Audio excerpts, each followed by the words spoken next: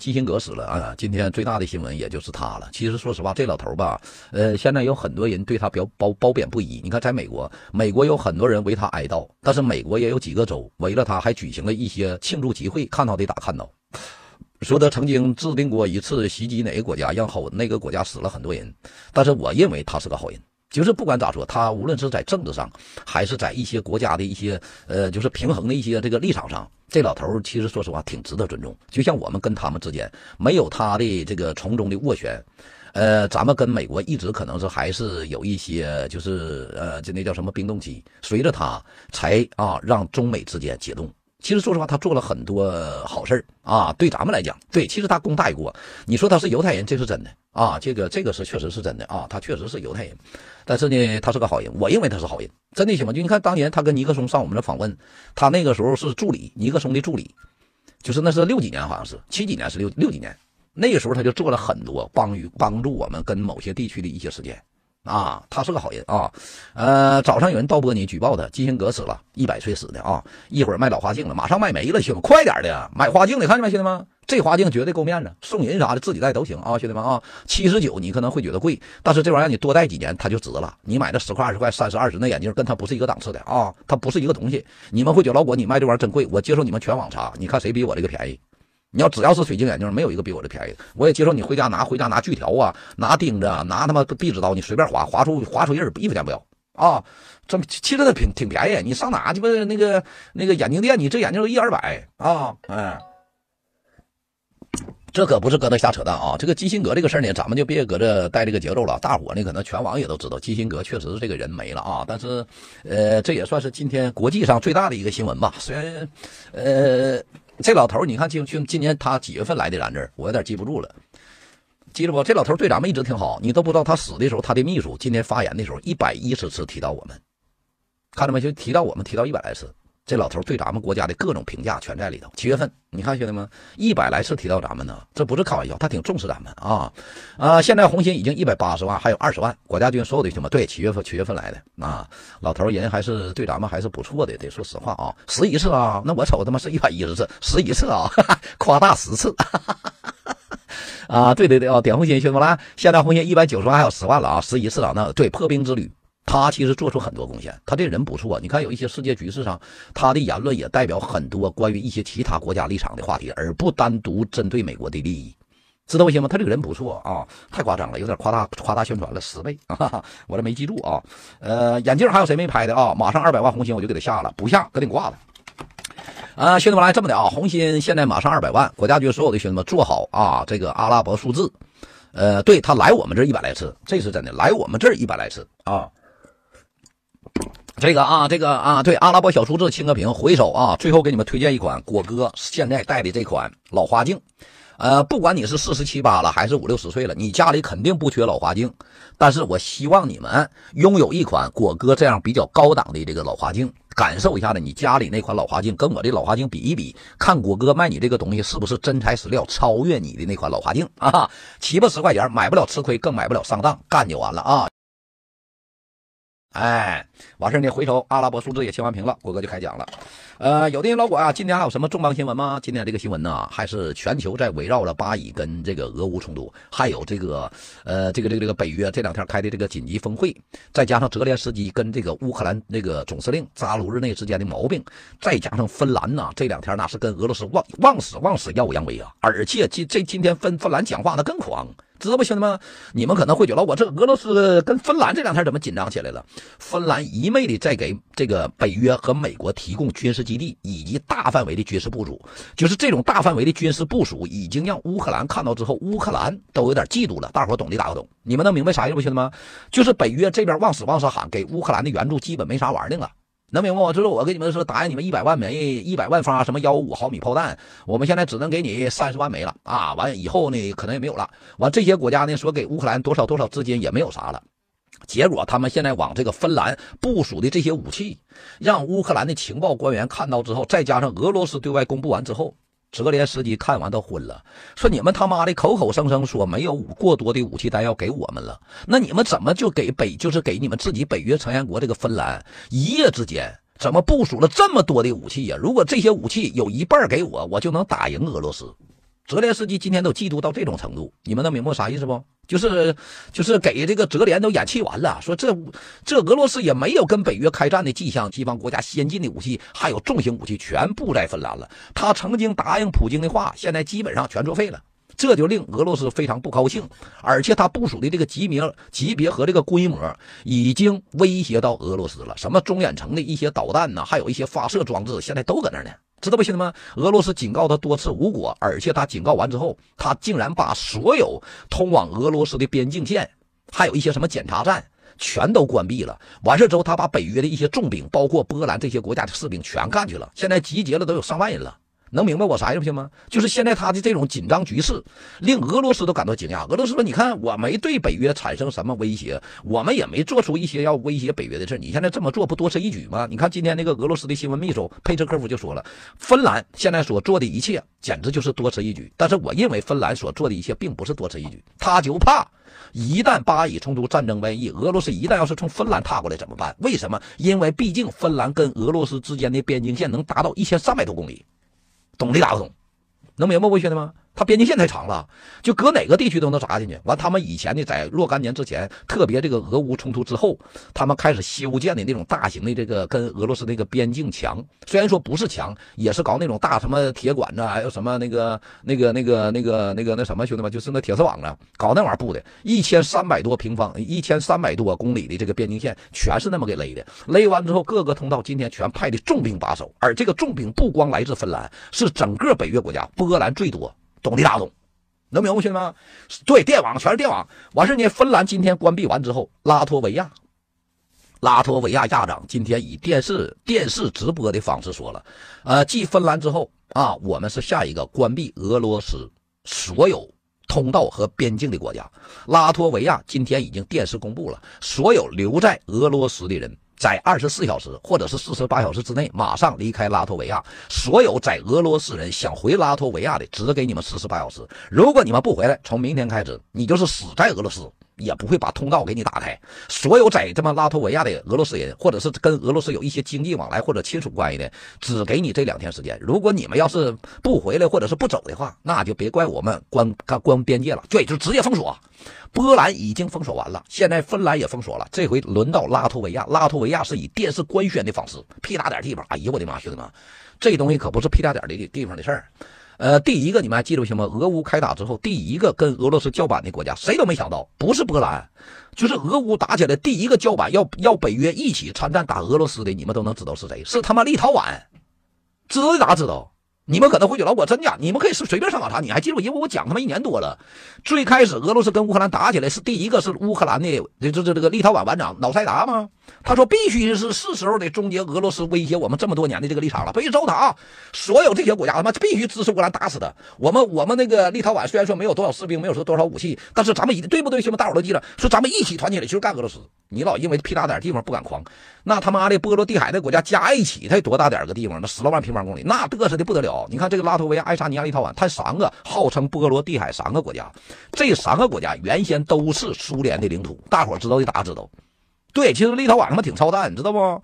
完，现在活该他他妈有钱人都跑了。立陶宛，你算算，才六万来平方公里的小地方，一共有一万多名士兵，连他妈飞机、坦克、装甲车啥基本上没有。知道不行吗？他今天更狠，他今天威胁到俄罗斯什么程度？从明天开始啊，给俄罗斯时间，他封锁了所有陆路上通道通往加里宁格勒的所有俄罗斯跟加里宁格勒的大货车的运输的这么一个车队，全给卡那块了。看到没，兄弟们？四百多辆俄罗斯跟加里宁格勒满载物品的车辆，现在就在这个叫立陶宛边境线直接卡死。俄罗斯不管怎么呼吁，就是不放行，就这事儿也鸡巴够呛。知道吧？回首呢，他这边公布完，我们已经封锁了俄罗斯跟立陶宛通往加里宁格勒的陆路通道之后，铁路没封啊，咱那就是咱不能有啥说啥，咱不能瞎猜瞎瞎瞎白话。铁路没封，但是呢，陆路通道的大卡车全给封了。现在这些大卡车，现在今天我看一天就集结了四百多辆，不管是立陶宛的，还是他妈的这个这个俄罗斯的，还是加里宁格勒，现在全给他封上了。他他公布完之后，要把这个陆路通道重新封锁，而且就是去加强几去巡逻和检查，就是你不管车顶加的啥拉的啥就不放。回首欧盟今天又做出个事儿，冻结俄罗斯两千亿欧元的资产，马上要给乌克兰用于重建，马上也就官宣了。兄弟们，就这么挤兑俄罗斯，我认为啊，这他妈的，我跟你讲，兄弟们，他们就在死和作死的路上徘徊呢。你们同意果哥观点扣个七，真的兄弟们，你想想兄弟们，在这个局势上这么紧张，这些国家呱呱呱就这么治就这么整他。我告诉你兄弟们，你们就会觉得我他们为什么这么疯狂，怎么这么整俄罗斯？这也能说明一点，乌克兰的反攻基本是废了。完，他们用这种方式给俄罗斯施压，懂的打个懂，能明白不，兄弟们？就是乌克兰彻底是完蛋操了，基本上是完蛋了。你们都不知道，兄弟兄弟们啊，今天乌克兰，乌克兰让俄罗斯在叫库皮扬斯克地区，还有赫尔松地区，让俄罗斯拿回来六七个乡镇了，就是为了庆祝胜利。我给你们讲一下啊，这事是真实的，就是为了庆祝这两天俄罗斯的战果，俄罗斯的一个集团军的副司令，知道不？跟他的士兵开着装甲车上前线去慰问士兵，要跟士兵一起庆祝，知道不兄弟们？庆祝拿下的这些领土。没想到这个他妈的集团军的副司令坐在装甲车上，让乌克兰给埋的地雷今天给炸死了。看到的打看到，那是副司令少将啊，才他妈三十五吧？兄弟们是三十五四十五，三十五四十五。让地雷给炸死了，就是为了去庆祝胜利去。哎，我操，这这这两天打好，我必须得上前线表彰你们。这小子太高调了，是吧？三十五、四十五，兄弟们，我他妈记不住了啊！三十四十五，对，四十五，四十五岁。他在今年夏天，俄罗斯普京还授授他一个英雄称号呢，说你这小子在前线打挺好。对他是个奇才，这哥们说他是个奇才呢。这真不是玩笑，不是逼装大了啊！他在俄罗斯普京授给他一个叫奇才称号，他这小子就是今年夏天俄罗斯普京给他一个给他一个荣誉呢。说这小子是个勇勇士、英雄、奇才、军事奇才，妈的，今天让人给活活炸死了，死挺惨，装甲车装甲车给炸稀碎，这小子当场阵亡，知道吧，兄弟们？这对俄罗斯内部出卖的吧？反正咋说呢？就是就是咋说？你记得咱们中国有句古话不？叫“求客莫追”，大伙知道的大家知道，是穷穷客是穷客呀，穷客莫追，对不对，兄弟们？就是给人家干败了，回头他们还撵人家追，这帮小子就是你不吹哑巴吗？直接把他妈地雷给你挖，给你埋上。副军长啊，不是那个呃，不是军长，是副司令，是集团一百四十一对穷就穷客穷客莫追啊，就是你撵人家，中了人家的地雷阵，懂的打个懂，能明白不，兄弟们？就是我都知道我战败了，战败前提我们得撤，撤的前提为了不让你们撵上我们，我们在这个这个这个这个地区啊，就是你们就是能经过撵我们这个地区，我直接埋上地雷。结果俄罗斯中了人家的地雷啊！现在媒体报的是什么呢？是这小子触雷了。但是我告诉你，兄弟们，不光他死了，俄罗斯今天随着这个他妈的副司令死，得有上百名俄军直接在这个地雷战里直接阵亡，能明白吗？这就说明什么？俄军在防卫上，包括就是这个指挥上，还是有一定他妈的这个疏忽的，能明白不，兄弟们？你想想，兄弟们，乌克兰士兵撤了，你排雷车都不上，直接就他妈的往前撵。就我这个没当过兵的兄弟们，我们他妈没，我也不是什么军事专家，我不是什么指挥官。我告诉你们，就我知道，要是在哪个地区打好几个月仗了，回走他们失败了，我能去撵去？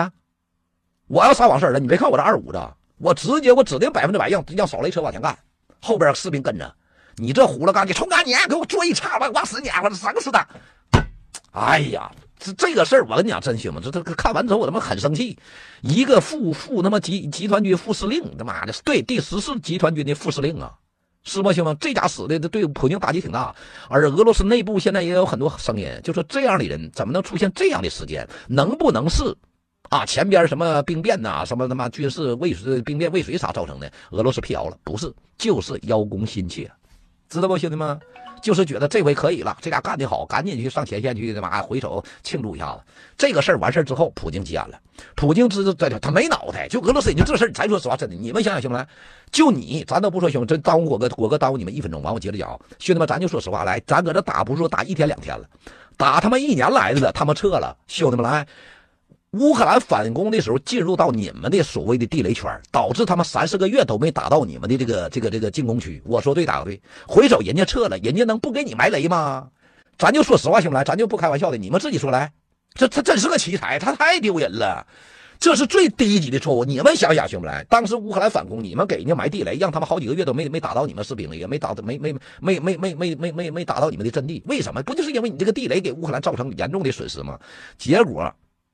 对，有点他妈多多少少占点骄兵必败了。你你想想兄弟，你他妈的让人家中你地雷阵，你撵人家，人家不拿地雷崩你啊？这家崩的，我跟你说实话啊，今天得死多少人？最低起码得死一百多。咱说实话，这种死可我跟你说实话，这种死可不是像平时那种死。你平时在前线上怎么厮杀怎么死都行，你这种情况重民圈套死这个事儿，我告诉你兄弟们，可以说是挺他妈低级呀。我跟你讲，这种错误犯的呀，呃，挺不咋地。你看西方媒体都耻笑到到耻笑他到什么程度？说俄罗斯一年了，可能也没打出来一个胜利仗。由于啊，他的领导高层急于想拿下这个地区，听到了前线拿下了某地区之后，司令官包括指挥官都急于邀功，能明白？这是西方媒啊，对，说这得意忘形了。说西方媒体报的说是俄罗斯的这个高级军官为了急于邀功，啊，想到这个地区把国旗插上之后，我要向普京致电，看到没，大哥，我已经把这个地方拿来了，我现在搁这，没等到地方炸死了。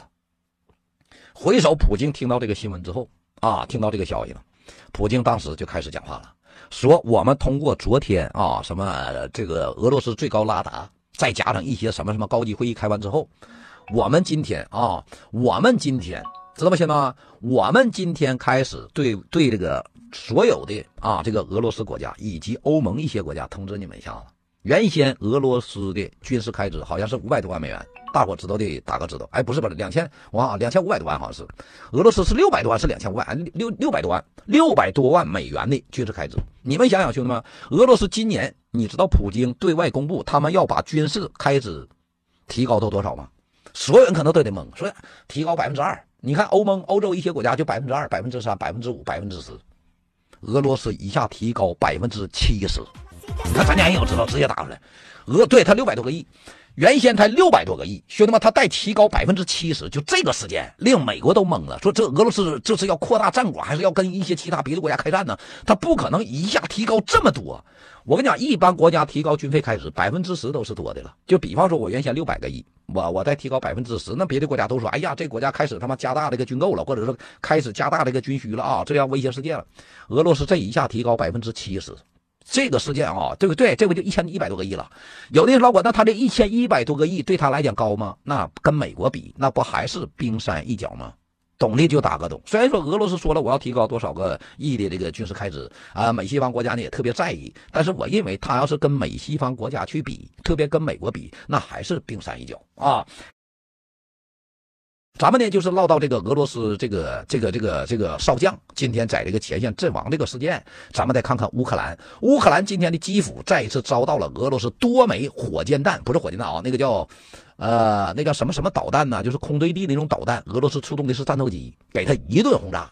泽连斯基呢，今天一天啊，对外发表了好几次所谓的推特和说说，什么意思呢？就是直接就说了，俄罗斯现在他对我们平民开始下手，俄罗斯在攻击我们所有的能源设施，俄罗斯在威胁我们今年冬天啊，想让我们今天乌你今年的乌克兰人无法过冬。哎，钻地弹什么都干了，今天给基辅干屁了啊！对，伊斯坎德尔还干收两枚，是不是？今天呢，对这个。他妈的基辅的这顿轰炸，泽连说了，这是历史以来他妈的最狂野的一天呢。这对对乌克兰来讲是黑暗的一天。从昨天晚上一直到现在，我都没看到天，为啥炸的全是烟呢？我操！我给泽连的炸屁了，这是怎的？俄罗斯今天加大了力度，对泽连斯基啊，对这个基辅。这次轰炸可以说是史无前例，是空是是空前的，而且基辅对外说了，头头头几天啊，头几天呢是由于自然条件啊，这个自然灾害导致呢有暴风雪，还有一些什么大雨啊，还有一些什么就是特别让乌克兰多少年没经历过的一些自然灾害，导致乌克兰呢本身就有很多电力设施遭到损毁，完事再加上这个俄罗斯这次袭击。导致这个乌克兰现在说了，这真是趁我病要我命呢。而北约今天围了乌克兰，特意开启了一个峰会。谁呢？那个布林肯呢？今天给北约打电话，直接就告诉北约，这两天啊，巴以冲突正在啊释放人质，这个时候一定要稳住乌克兰跟俄罗斯之间的局势，不能让泽连斯基放弃。而俄罗斯利用。巴以冲突现在在大规模的进攻乌克兰，也是我们加大力度袭击俄罗斯集团部队的最佳时期。能明白的听个明白的打个明白。说俄罗斯现在可能是抓住了我们都在关注巴以局势的同时，俄罗斯集结大部队向乌克兰发动了前所未有的总攻。特别有一些曾经俄罗斯从来没打过的一些地区，俄罗斯在集结大部队。那么正好是我们向俄罗斯集群。就是俄罗斯的集群呐，发动打击的最佳时期，这就说明什么？兄弟们，肯定是俄罗斯的大部队集结，又暴露在乌东的某些地区了，被美西方国家用卫星啊，或者是侦察手段看到了，看见没？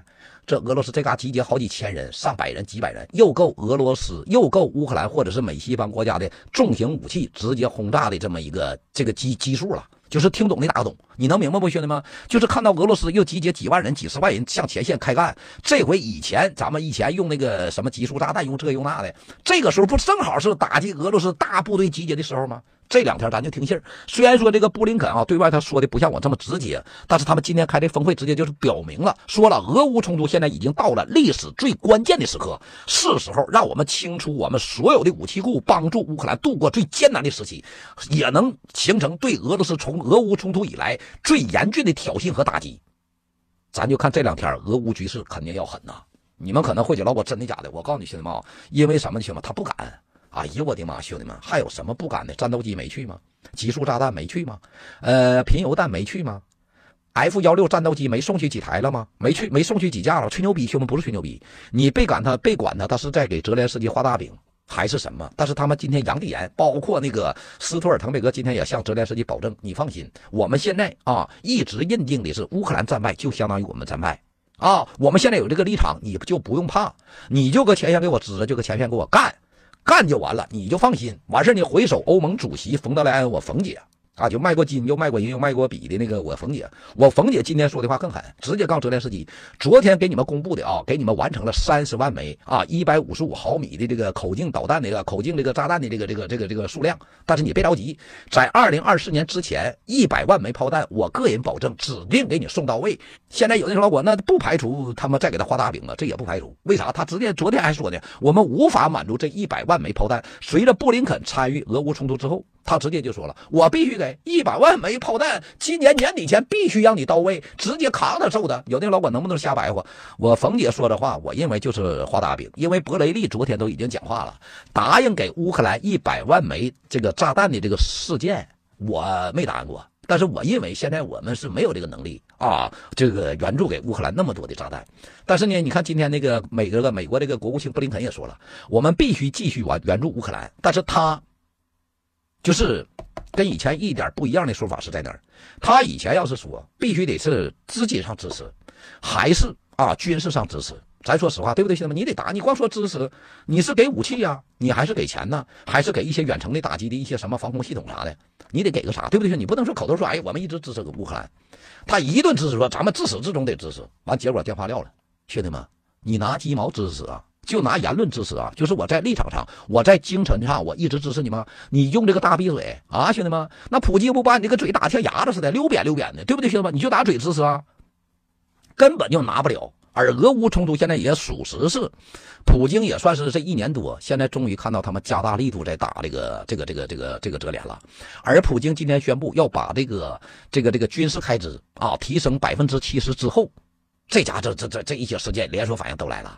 第一个，美西方国家就开始研究俄罗斯的这个军事开支要部署在哪儿。一个是提升军队的这个自身的一些装备，再一个可能就是在针对一些大战给做准备。但是有一些西方媒体也说了，做大仗做大仗准备，俄罗斯这点军事开支根本就无法与北约抗衡。懂的就打个懂。说俄罗斯要是说要是说有这么些钱啊，部署在这个军事上，如果要是做一场大战，咱说实话，几天那根本就那根本就白费。你想想去，你想想行不行？就乌克兰跟俄罗斯打到现在，就就美国单独援助给乌克兰的那都几千万美金了。我说对，打个对。你俄罗斯就算是你过年提高到一千一百一十亿美金，咱说实话，你别说你发动一个他妈的这个这个北约战争，你就单打乌克兰也不一定够啊。我说对，打个对。所以说呢，今天普京虽然说公布要把这个军事开支啊直接提高到百分之七十之后，车臣总统卡德罗夫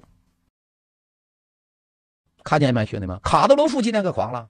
卡德罗夫当时站出来发个视频，哎呀，我太支持俄罗斯总统普京先生的这次决议了。哎呦我操！我强烈支持哈，我支持到我支持到极极限哈！我现在早就认为普京早就应该增加军事开支，如果不增加的话，咱们早晚都得被被美西方国家以各种削弱的方式给我们俄罗斯造成肢解或者是蚕食。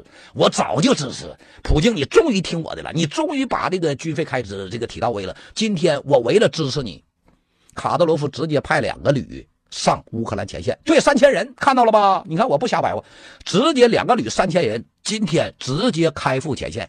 你们会觉得我卡德罗夫这么干是为了支持普京吗？说实话，也是用这三千人换取俄罗斯的军事开支的其中的一部分，懂的打个懂？你看果哥说的对不对？你以为他真是在支持普京吗？那普京不不提高军事开支的时候，他咋不鸡巴把这俩旅派去？这边他妈的说我要提升百分之七七十的军事开支了，这老卡德罗夫这顿拥护完之后，直接把部队喊过来了，兄弟们！你们还得上前线呐，你们还得干呐！我这哎，对，其实说实话，就用这种方式。第一，表忠心了；第二，你这钱你得拨给我呀。你看我两个旅都干进去，三千人像机器人部队直接干前线。这也说明什么呢？对，要装备，要钱，要下一届的这个七哎百分之七十的军事以外的开支，他是要这个。但是卡德罗夫的部队，咱得说实话啊，呃，你看有很多人都说，哎呀，车臣部队表现的怎么样？其实车臣部队，说实话，他在前线的这个硬，就是这个打仗的这个能力，其实说实话，他比他妈俄罗斯的国防军力要大。你看兄弟们，从哪来说呢？从最基本的，最开始，在这个叫马里乌波尔的地下钢厂，大伙都知道。俄罗斯的政府军就打不下来，卡德罗夫一个旅，对不对，兄弟们？再加上啊，当地的民间武装打了几三个来月，给找回来了。你别管最后是用温压弹还是用什么方式，那他妈车臣士兵真下他妈的真下那马里乌波尔地下钢厂去跟他们拼去。大伙看到咋看到？那车臣士兵是真勇猛啊，咣咣干，这确实厉害。车臣士兵啊，虽然说呢，有的老果他厉害，瓦格纳还是还是瓦格纳厉害。怎么说呢？他俩之间嘛，多少沾点不和，就是因为什么呢？就是因为彼此。在前线上作战都比较勇猛，能明白的打个明白。要但是现在呢，我看啊，就是不存在像你们说他们所说的不和，只是呢就是对他们的评价，他俩到底谁厉害啊？但是我认为车臣呢还能略逊一些、逊色一些所谓的这个那个那个那个那个叫瓦格纳军团。你们会觉得我他怎么能略逊色于瓦格纳军团呢？你听我给你讲就明白了。你看车臣人啊，长得还大，个顶个像机器人似的，但是他属性。跟瓦格纳不一样，你为什么这么说呢？他不管怎么用，他都是士兵，就是车臣士兵，不管怎么怎么厉害，他都是士兵。而瓦格纳这帮小子就不一样了，瓦格纳这帮小子基本上兄弟们身上都有事儿，能明白我啥意思吗？都是为了活而生活，为了活而战斗。你们能明白我啥意思不？我打赢，我在前线上，我坚持几个月，我可能就换来我一生的自由。为什么？因为他那里有百分之七十到八十都是死刑犯、劳改犯。我对都是亡命徒。我他妈的搁这块，我搁监狱里头，对他是亡命徒。我他妈搁监狱里捐他妈二来年了。我这上前线告我坚持三个月或者四个月，我立功了，我直接可以回家种土豆去。他就认为我。所以说他俩之间的立场对都登峰级的，他俩立场不一样。你看车臣士兵再干，我是我只是个士兵啊，我就听从上级命令。而瓦格纳就不一样了，我得强烈立功，我或者是我得我我得想一切办法，我得活过三个月。我活过三个月，我所有的罪责全免，完我回首我能换取自由。所以说我认为我个人理解啊，我个人理解，我倒没看到他俩作战到底谁厉害。你看他俩都有自己的功劳。呃，瓦格纳军团打的是巴赫穆特，对不对，兄弟们？呃，这个车臣士兵呢打的是这个马里乌波尔地下钢厂。就是相互对相互争宠，相互这个争功，但是他俩都有各的这个各顶各的自身的这个能力吧，这就是也相当于对，像这哥们说的是，他俩就相当于普京的左膀右臂，但说实话都是黑人，他俩要是能集合起来，我告诉你，行不？就打乌克兰所占领的任何一个地方，你要给他俩干，就给他俩时间，说你俩干完之后，一人奖励你多多少钱，给你们奖励出多少工，他俩合伙，我认为就在乌东地区，只要交给他俩，就没有完不成的，你们相信我，打个相信。你们可能会觉得我不行，我告诉你们，就告诉他们，你这场仗打完，你不管几个月，你打完赢，打完打赢完之后，我就给你调回国内，直接给你们办户口，直接让你们好好过日子。你回家做弄，回家你是种土豆的，还是给你找对象？这帮逼玩命干。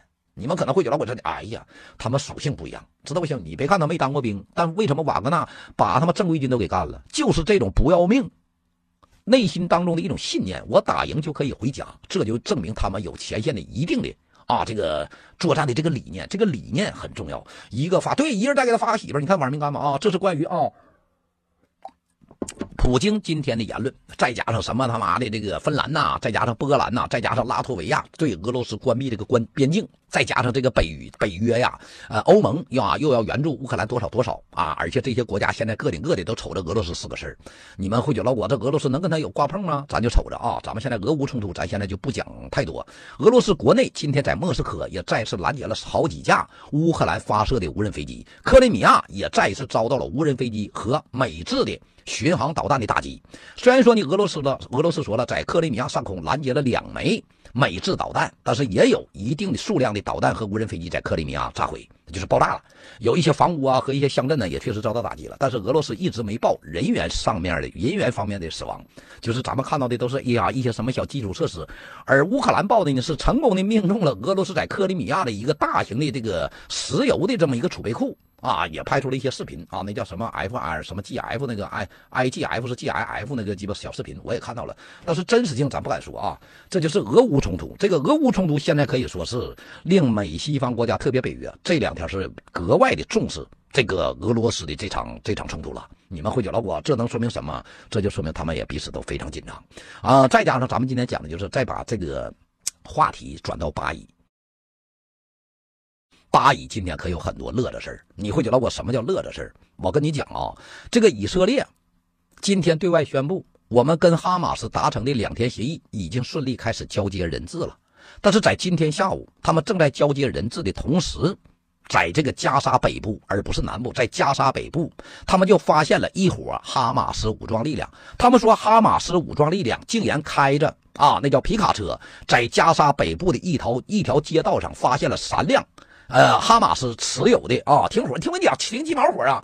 他们所说的啊，但是我不确定是真事是假事但是哈马斯就是以色列就这么公布的，他们发现了三辆啊，这个叫那个皮卡车，上面拉有啊，就是载有哈马斯武装人员，而这些武装人员戴的黑面布，看着没，兄弟们，手里还举的枪，看到了吧？视频都有，手手里的举的枪。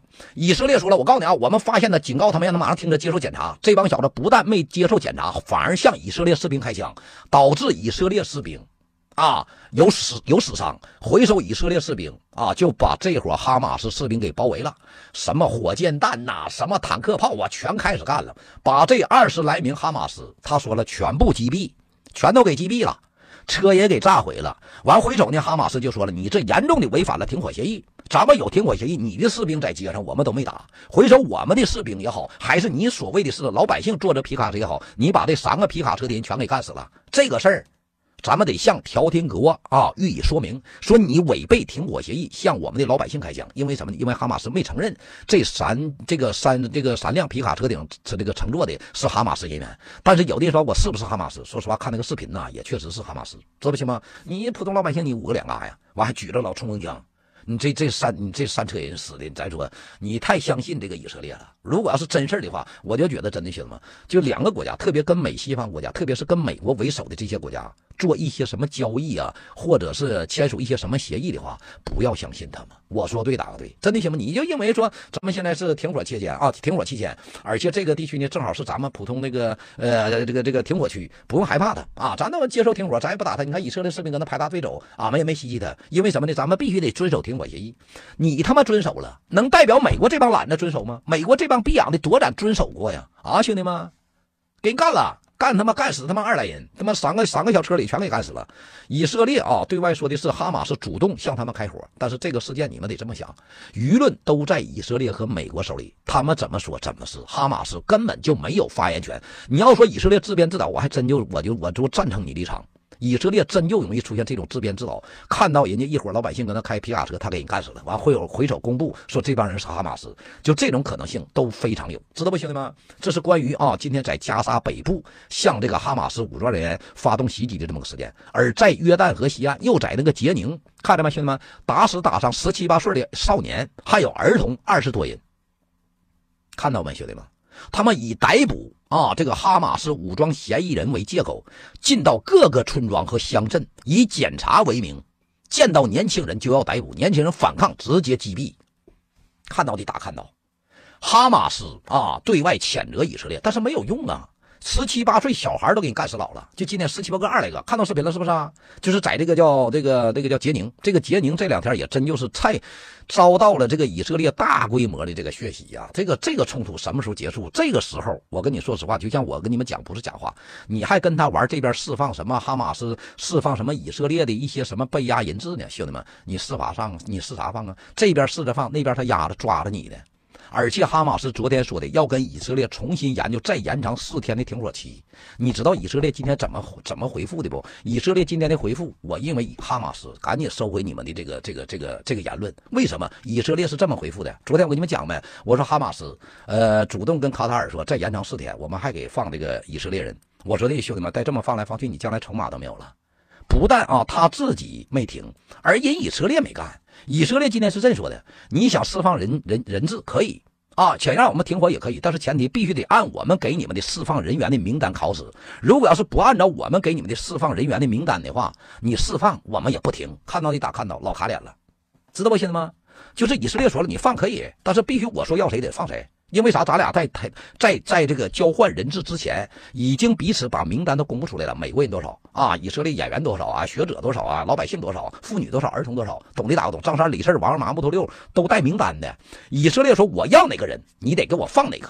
我要哪个人，你不给我放哪个人的话，咱俩就停不了。而且我一直得打着你，知道不行吗？不打都不好使。你别以为说是今天就呃你说放就好放，不好使。而且今天是三十号，就看明天能不能打命。哎，这个月没有三十一号吧，兄弟们。以色列今天对外公布了，这次停火协议只能维持到三十号，维持到三十号，今天可能就三十号。如果明天啊又打了，就是证明哈马斯提出来的停火协议，以色列没接受，知道不行啊？没有三十一号，是不是啊？那就是明天了，明天就一号。他说了，今天今天这个以色列国防部对外公布的，只能啊延延伸到三十号，从明天开始那就得又炸了。要是停了，就证明哈马斯同意了以色列的释放名单，懂的就打个懂。明天一号是吧？他今天公布的就只能就是只能延迟三十号，又延迟一天就到三十号。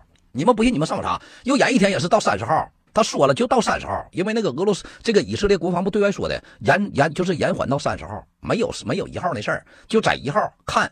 如果以色列没打，哈马斯又没打，指定是斡旋成功。斡旋成功的前提，那就是哈马斯主动把人家要的名单给了。如果这个名单要是给了，我告诉你兄弟们，这个事儿对对哈马斯极其不利。兄弟们，我就介绍一嘴，看着吗？老花眼镜，果哥卖这个是水晶的，拿这个拿这个壁玻壁壁纸刀随便划，划出一点印，一分钱不要。买这个老花镜就买好的。咱家呢，有的人老花镜回到家里，可能还没等用，用不几回，全磨的全是印咱这个磨出一点印，七天无理由退换货啊，兄弟们，就是相对贵一点，但是它是好材质。啊，指定保证你不带花的，不带磨花的，按照你们的度数去买啊。呃，这个按照你们的度数去买啊，又延长一天呢。那我上直播前没看着，我看到的就是到啊到三十号多少度的，按照你自己度数买。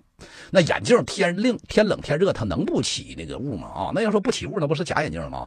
别划到眼睛，这随便拿眼镜，随便啊，有折叠的，有折叠的，有这样式的啊，有这平板的，随便划，你划出一点印，七天之内无理由退换货，一分钱不要啊。就这眼镜，你看咱们自己家那老花镜，一整回化的，这个绝对不会啊。你们会觉得老管，那今天以色列跟巴勒斯坦之间还有什么？还有一些什么事件吗？央视也报了，对，今天的事件就是这个杰宁，再加上今天这个哈马斯啊，有一轱辘不知道是小股部队啊，还是真正的被这个以色列给给干死。但是以色列对外公布的说是啊，哈马斯的武装人员，咱们就不强调这个了。但是约旦河西岸这个杰宁遭到打击这个事儿，已经都惊到联合国了。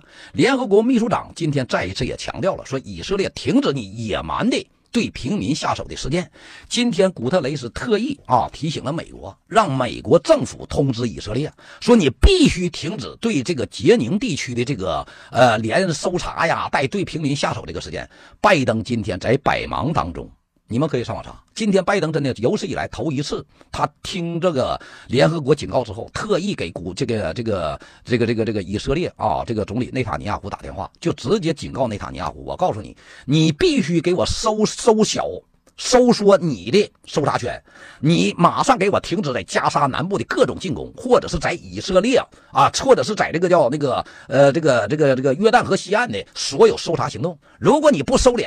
我告诉你，一切所有的后果，别说我美国不给你兜着，这是普拜登最严厉、最严厉的一次在警告这个以色列。为什么？他一发现这国际现代社会，包括土耳其，土耳其今天干出一个事儿，令老美国都懵了。日本、韩国，还有一些欧洲大半个国家，就是大半个地球国家都懵了。你们会觉得我怎的了？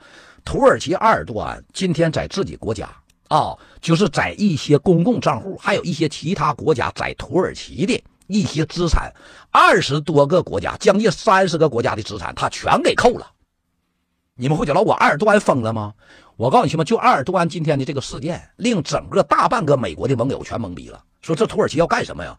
土耳其说了啊，通过我们今天的调查，我们已经调查一个多月了，我们扣押的这二十多个国家在土耳其的资产，我们不是凭空就扣的，我们扣这些国家的资产，就是因为这些国家背地里全拿资金。啊，对，二十多个国家和组织的，说这些国家和这些组织都拿钱在武装库尔德人袭击我们土耳其。你别以为我们是傻子，我们还跟你们这边友好呢，那边跟你们是朋友呢。完，你们那边他妈拿着武器干着我们，拿钱出武器，他妈的给我整，我他妈这回都查出来了。其中绝大多数全是美国的走狗，知道不，兄弟们？这二十多个国家和组织，这个事现在在整个欧洲都炸营着了。明天欧盟啊，我今天上网前我直接看到了，欧盟要为土耳其这个事件直接要开一个紧急峰会。能明白行吗？就是针对土耳其这个事儿怎么处理啊？这一下子扣了这么多国家的钱和财，你这不扯淡呢吗？这不是要他妈的这个土耳其的命吗？知道不，兄弟们？要要这些欧洲国家的命啊！有老果啊，那个就是还有什么事儿啊？土耳其这个事儿是一夜之间让这个美西方国家猝不及防，谁也没想到土耳其怎么就是平时你就打个库尔德人跟美国叫个板，你今天怎么竟然一夜之间给给给扣留这么多的国家的这个财产呢？太多了。其实说实话，如果要是看到这个这个局面。你们想想，果哥有没有点就是我没有别的意思啊。你想想，兄弟们来，土耳其在扣钱，欧盟在扣俄罗斯的钱，看见没，兄弟们都是在同一天。你们老认为土耳其猛，土耳其这那的，我认为这里头好像是多少有点信号。你可别觉得果哥是搁这里跟你们扯淡，你们也别说土耳其是在作死。你们认为有没有一种信号，就是在没干之前，我切断你们所有国家的一些这个资金上的往来。我要是切不了，那好，我就扣你们的。你们可能会觉得我我不支持你的言论，咱们就往后看一看。土耳其呢，这一夜之间公布了啊，要在这个这个整个西方国家收取了二十多，扣取了二十多个国家和组织的一些钱。他针对的国家有哪呢？我给你们找一下了。他针对的这些国家，现在目前为止都是西方的国家。一般你看啊，听着有哪啊？大部分啊，他公布的国家最多的是奥地利、比利时、丹麦、法国、瑞典、挪威、挪威、英国、伊拉克，还有叙利亚。其实这里还有日本，能明白不，兄弟们？二十多个国家还有组织，他对外公布冻结资产最多的，第一个是奥地利，第二个是比利时、意大利、澳大利亚，还有英国，都在其扣押名单里头。他这个钱呢，虽然说他没卖啊，他没公布多少钱，但是有六十多个个人的账号也被俄也被土耳其。给冻结，这六十多个人里头，六十二个人里头，得有他妈三十多个是美国的富翁级的，懂的打个懂，能明白不？兄弟们，就是说实话，就是针对美国富翁、英国富翁，还有这个最多的是这个叫奥地利、比利时、丹麦、法国、瑞典、英国、挪威啥的，就给这帮小扣的，现在都找美国呢，甚至有的都直接干到联合国了，说这怎么干啥呀？这他妈也没有战争，也没有这没有那，土耳其做的这个事件，这不是纯属挑起他妈的这个国际争端吗？这这比他妈打战争还狠呢！啊，我们的老百姓搁他那嘎做点买卖，我们的国企上那做点做个生意，他他妈一夜之间给咱们抢夺了吗？这不是吗？知道兄弟少对少说，他得有个几百个亿呀！这一下子，美西方国家现在都在谴责，而土耳其对外公布的是啊，我们有种种证据证明，我们所扣押的这些个人或国家的一些资产。都都有证据表明，他们在间接或者是直接的在支持库尔德人对我们国家实施的各种恐怖袭击事件，都是这些国家和组织拿钱武装这帮逼干的。我跟你讲，真的行吗？现在一瞅这个土耳其干出这个事儿啊，我告诉你，这其实它不是一个，就是咱们搁大伙看的，就是一个简单的一个，像大伙说想的土耳其啊，就是为了，这好像是多少占点有点小信号。得回来上厕所嘛啊，兄弟们，把红心大哥给我哥点那么一小点啊，嗯，限流了你滚他妈犊子，最讨厌你这种狗懒的限流的，限流了开播一万人呢，装逼啊！我肚子疼，去厕所了吗？还肚子疼，今天晚上肚子疼啊。呃，这个鹿心粉用胶囊可以吗？必须可以。你要是喝不下去，直直接就是放在那个胶囊里头啊。呃，吃饭没果哥？你这话问的简直拉裤兜里面没有？那他多大人了还拉裤兜里？大小便失禁呢？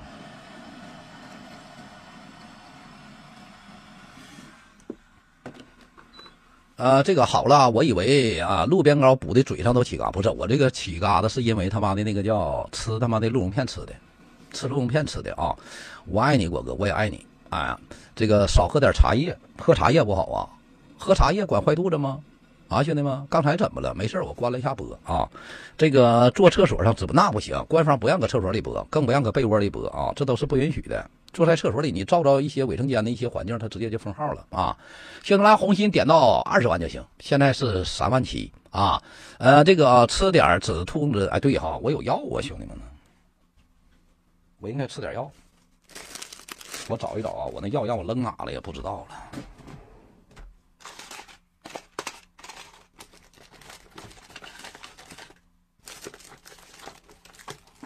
完了，我想想啊，我桌子顶就有啊，我这儿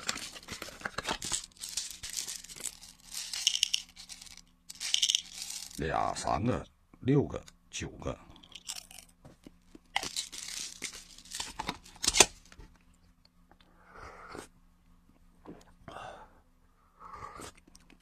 啊，吃完了啊！眼镜还有谁没买的啊？怎么回事啊？没事就有点他妈的有点坏肚子。你看肚子现在叽里咕噜的。这吃完这药他妈这么快吗，兄弟们啊？吃的啥药啊？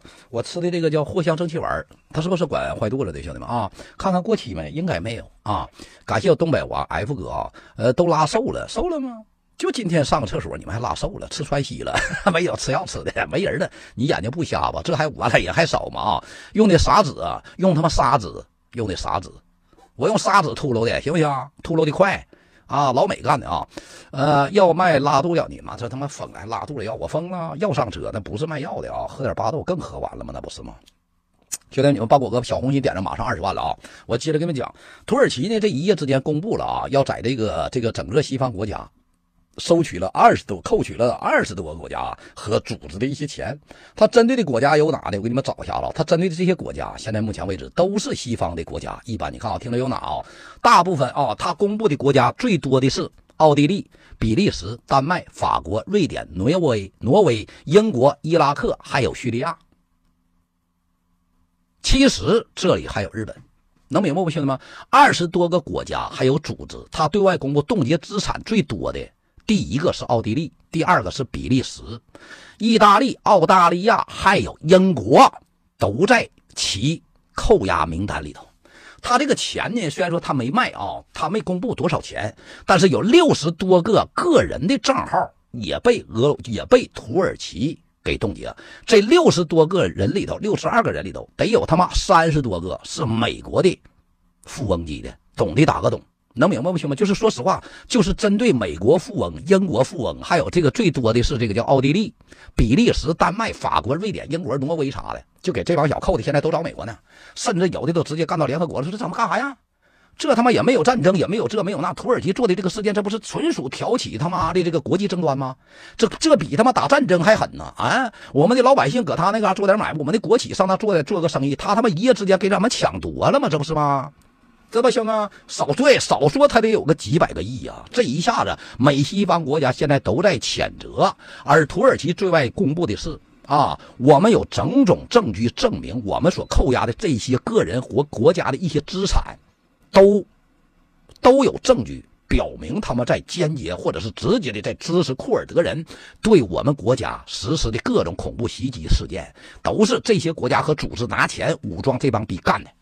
我跟你讲，真的行吗？现在一瞅这个土耳其干出这个事儿啊，我告诉你，这其实它不是一个，就是咱们搁大伙看的，就是一个简单的一个，像大伙说想的土耳其啊，就是为了一个什么扣钱呐，或者是为了这为那，不是。我认为这个事儿，这好像是多少占点有点小信号啊。有的人可能会觉得我不信。你看今天美国报的，美国今天对外情报局对外报的，他们成功的啊，就是成功的瓦解了一起由印度。政府高级官员武装的印度特工在美国实施的对锡克教领导人袭击的一个事件，看到的打看到，印度特工被抓住了，被他妈的美国中情局给抓住了。抓完之后，这顿大嘴巴子、皮鞭子蘸凉水一顿揍，没等打呢，阿三那个逼样直接拉裤兜里了，跪下了，直接就承认承认了，我是印度人。我是受在你们美国大使馆谁谁谁的委托啊，让我干死啊！这个由由这个美国和加拿大双重国籍的一个锡克教的教头，因为他一直在武装锡克教，颠覆现在印度的政权。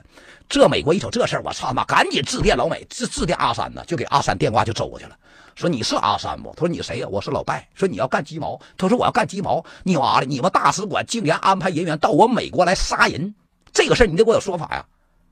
当时阿三说的，谁说的？还谁说的？证据视频我给发过去，推特啥往出一发，老老莫迪一瞅，我操，这不是头两天拍戏那个傻子吗？怎么没等咋地就挨抓住了？这小子抓住之后，在美国揪出来得有二十人，全都是要干干什么呢？干美国的这个锡克教的这个人士。为什么？因为在美国有信锡克教的人员高达六十多万人，这六十多万人一直受美国就是这个印度武装的这些人要去杀害的这个美国的这个领导人锡克教的这个领导人的煽动，要让印度印度解体。大伙懂的打个懂。说是印度去杀他，也就是因为有点像土耳其总统埃尔多安要上美国去杀居伦是一样的。大伙听明白的打个明白。能明白不？就是美国一直武装一伙，他妈要干人家这个这个这个土耳其总统埃尔多安的这么一个居轮，这么一个居轮运动，大伙都知道。当年那个居轮好像没把把把老埃尔多安给找回去，回头他跑美国，美国给他保护起来了。土耳其呢一直安排人要去害这个，要去这个要去这个这个这个这个这个这个暗杀呀，或者是斩首这个居轮，美国一直保护。现在阿三也是一想杀这个锡克教教头，美国就以种种方式保护，保护完之后还有威胁印度。我告诉你啊。我现在给你提个醒，要让我逮着那天，拦着给你提上一挎刀去。现在美国严厉的警告这个印度，如果再发现一次，那将是我们之间外交上唯一一次让我们再次考虑跟你们外交友好的可能。就是警告你，你还他妈以大使馆的名义派人去杀的吗？这帮人，我告诉你，你杀的可是美国人。他这个要杀的人不光是美国人，还是美国籍，还是他妈加拿大双重国籍。啊，现在呢，有的老管那阿三这国家啊，让美国给破获这个案子，能是能是警告啊，还是真就破获了？也不排除是帮助加拿大搞一些政治舆论导向，同意国个观点扣个旗。为啥？美国、加拿大还有这个新西兰，还有这些国家，不都是不都是一个娘养的吗？说白了，都是他妈五眼联盟吗？他也没准是用通过这种方式在给印度施压，也在给全世界制造舆论。包括他跟啊加拿大之间的局势，都愿都怨印度而不怨加拿大。我认为多少也有点这个原因，因为啥？他们他妈是一蛇鼠一窝呀！对的，打个对啊！呃，有人问我那那那那那，你说这个阿三能服他吗？阿三服不服了？我不知道。但是呢，这个事件，美国说了，印度现在在作死，在于美国跟加拿大为敌啊啊！说说半岛，半岛吧，除了今天的半岛，除了啥呢啊？金正恩的妹妹叫金宇正，对美国和西方国家一顿谴责以外，今天没啥新闻。能明白？你非得让我讲半岛局势，他没有新闻，我搁这瞎给你报啥呀？我非得给你们讲出来，朝鲜跟韩国咋咋地了？韩国又像朝鲜咋地了？美国又咋地？他没有，我给你讲讲啥呀？就是你们讲朝鲜，我只能告诉你，头两天发一个军用卫星啊，叫万里镜，完看到了美国的什么白宫、美国的军事基地，又看到了美国的关岛，又看到了美国在全球的一些驻军的视频和图像。回头女儿呢，这纯属扯淡，纯属网络谣言。我告诉你兄弟们啊，现在网上我今天看了，你一说女儿，我就知道你看着了。现在全网有很多人都说金正恩要他女儿当什么什么什么国家的一些什么接班人，兄弟们啊！如果这消息要是真的，以后别看果哥直播，我不想撅任何人，我不想撅你们。网上报的根本就不是官方网站，这是第一。第二，金正恩就算是有大病，或者是他有什么一些事件，他能让他一个连高中或者中学都没毕业的孩子接替他的位置，或者是让他当一个什么领导人吗？他怎么去服众？他怎么去说服朝鲜人民？你们怎么就能相信这种话题呢？能明白不，兄弟们？我今天看到了，对呀，他女儿才多大点个小孩，十一二岁的小孩，让他当多大官？你们信吗，兄弟们？那都是美西方国家给他制造的谣言，扯淡的。能明白不，兄弟们？扯淡，纯属扯淡。十二吧，好像是啊。你要说十一，好像还少说一岁呢。就十一二岁那小孩，给女儿立威，扯淡。我告诉你们，你们信就信，你们可以不看我直播，但是我告诉你，全是真的。我今天确实搁网上看到了。全都是像我这样的自媒体扯淡的消息，而并不是像你们所说的一些咱们国家或者是网络机构认可的真正网站报道。就像头一段时间说卡德罗夫重病了，记得不，兄弟们？卡德罗夫已经病到不到不到一定程度了，卡德罗夫怎么又要死了？这那的，全是这种谣言，全来了，知道不行吗？而你们像你们说什么朝鲜呐，让他女儿怎么的，可能吗，兄弟们呐？什么年代了啊？你们想就是你们就是搞就再搞脑袋想一想，可能吗？对，就是他不行，他有金宇正顶着，他也不可能让他妹妹上来呀，不，也不可能让他女让他女儿上来呀。我说对，打个对。那金宇正今天有个言论，确实是他说了啊，美国要什么威胁他们，用什么呃，在这块搞演习啊，又说我们发射这个这个军用卫星啊，又什么加剧了什么半岛局势这个事件，又说我们发卫星用弹道导弹了，违反什么国际法。完说你们在这嘎演习，他就一顿谴责美国，剩下什么都没有。这狗都不能，不要想那些那些小。你们想想行吗？那可能吗？就十一二岁孩子，他懂个啥呀？统领三军呢？对，你还搞他妈的康熙八岁登基那事儿呢？你们想想，果哥说对，打个对，就是咱们这么的兄弟们，你们还有人说不信，你还以为我扯淡呢？真的兄弟们，你们认为金正恩让他女儿在国内，那个就是在他的手下啊，宣布让他任什么什么什么国防部门的什么什么领导人，你们信的扣个七，不信的扣个八，我指定不信。开他妈国际玩笑呢？你把他推上来了，你去怎么辅佐？你去怎么让他妈国民，让一个孩子带领一个国家？那不开他妈国际玩笑吗？那赶不上泽连斯基呢？你们想想，那泽连斯基不管咋的，他还是个成年人呢。我说对打个对？就这种谣言，就这种扯淡的事你们也能信？千万别信，兄弟们！你要说以后。哪怕他大学毕业了，我都信，懂的打个懂，对不对，兄弟？就哪怕大学毕业了，我都信。一个小孩，初中生还他妈没毕业，个小丫头片子，你把国家交给他，我的妈呀！哎呀，我的妈！你们都不知道一些详情。金正恩上来之后，都上来几年之后，他跟他的姑姑俩联合，他把某些人除掉啊。大伙知道，大家知道，就他姑父不是跟某些人，跟那个女的叫什么了？就是在金正恩面前有汗马功劳的那个人。他才把他姑父一起除掉的，能明白啥？他根本就整不了他姑父。金正恩多厉害个人呢，他连他姑父都整不了。后期你看着没？给他姑父干死了，看见的打看到？你们还老不信？一个孩子十二三岁小孩，直接把国家大权拿回来。哎呦我操！你们怎么想的呀？对，叫张什么玩意儿？这个不是开玩笑。那你这这就这种谣言呢？哎呀，兄弟们，你们可成熟一点吧，就成熟一点。现在这个社会哪像以前的君主帝王制了？我说对打的，皇上我认命啊！我儿子我八岁也好，七岁也好，去你妈的！我这样当皇上，那就是当皇上，对不对，兄弟们现在你玩摄政王的事啊？开玩笑呢嘛！张承泽，对，你看大伙都知道这个事儿。那金正恩费费多大劲把他弄下去的？你个小丫头，将来真的金正恩没了，把权力给他，他能坐住吗？对不对，兄弟们？他能坐住吗？开玩笑呢嘛！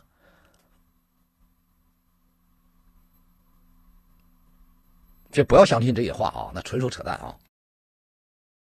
不，阿山被美国警告完之后，阿山今天还有什么事吗？阿山不服气啊！阿山说了，我们根本没用官方任何势力和手段去啊，其他别的国家，包括加拿大，做出袭击或者是伤害锡克教的这个事件。随着美国把这个事件公布完之后，兄弟们，你别以为说就是一个舆论上的导向就完事了。他的这个舆论就是公布完之后，你知道让人阿山这个国家。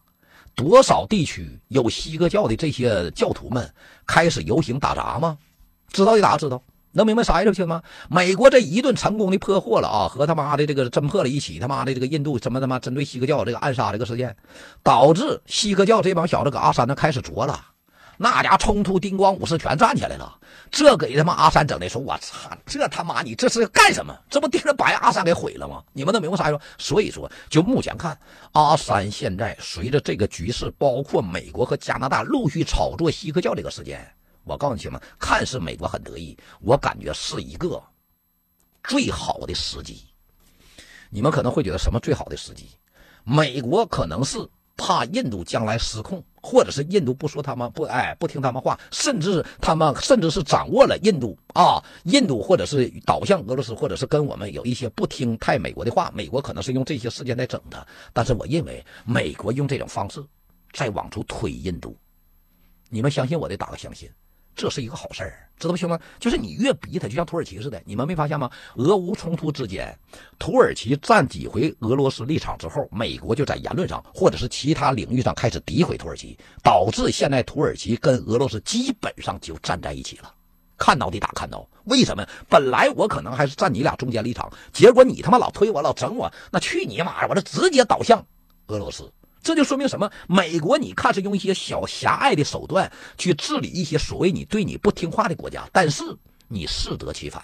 我告诉你，这姑娘只要对他们阿三好一点，说妈的，我支持你，一起给我整他，在国际立场上不能怕他，咱们不能什么都得怕美国的，对不对，兄弟们？他这是栽赃陷害呀，他在加剧你们印度国内不安全因素，他在颠覆你们印度的政权。借助这个机会，你就应该搞队形，站立站站站立场，不要怕他。你这大国，全世界人口你最多呀。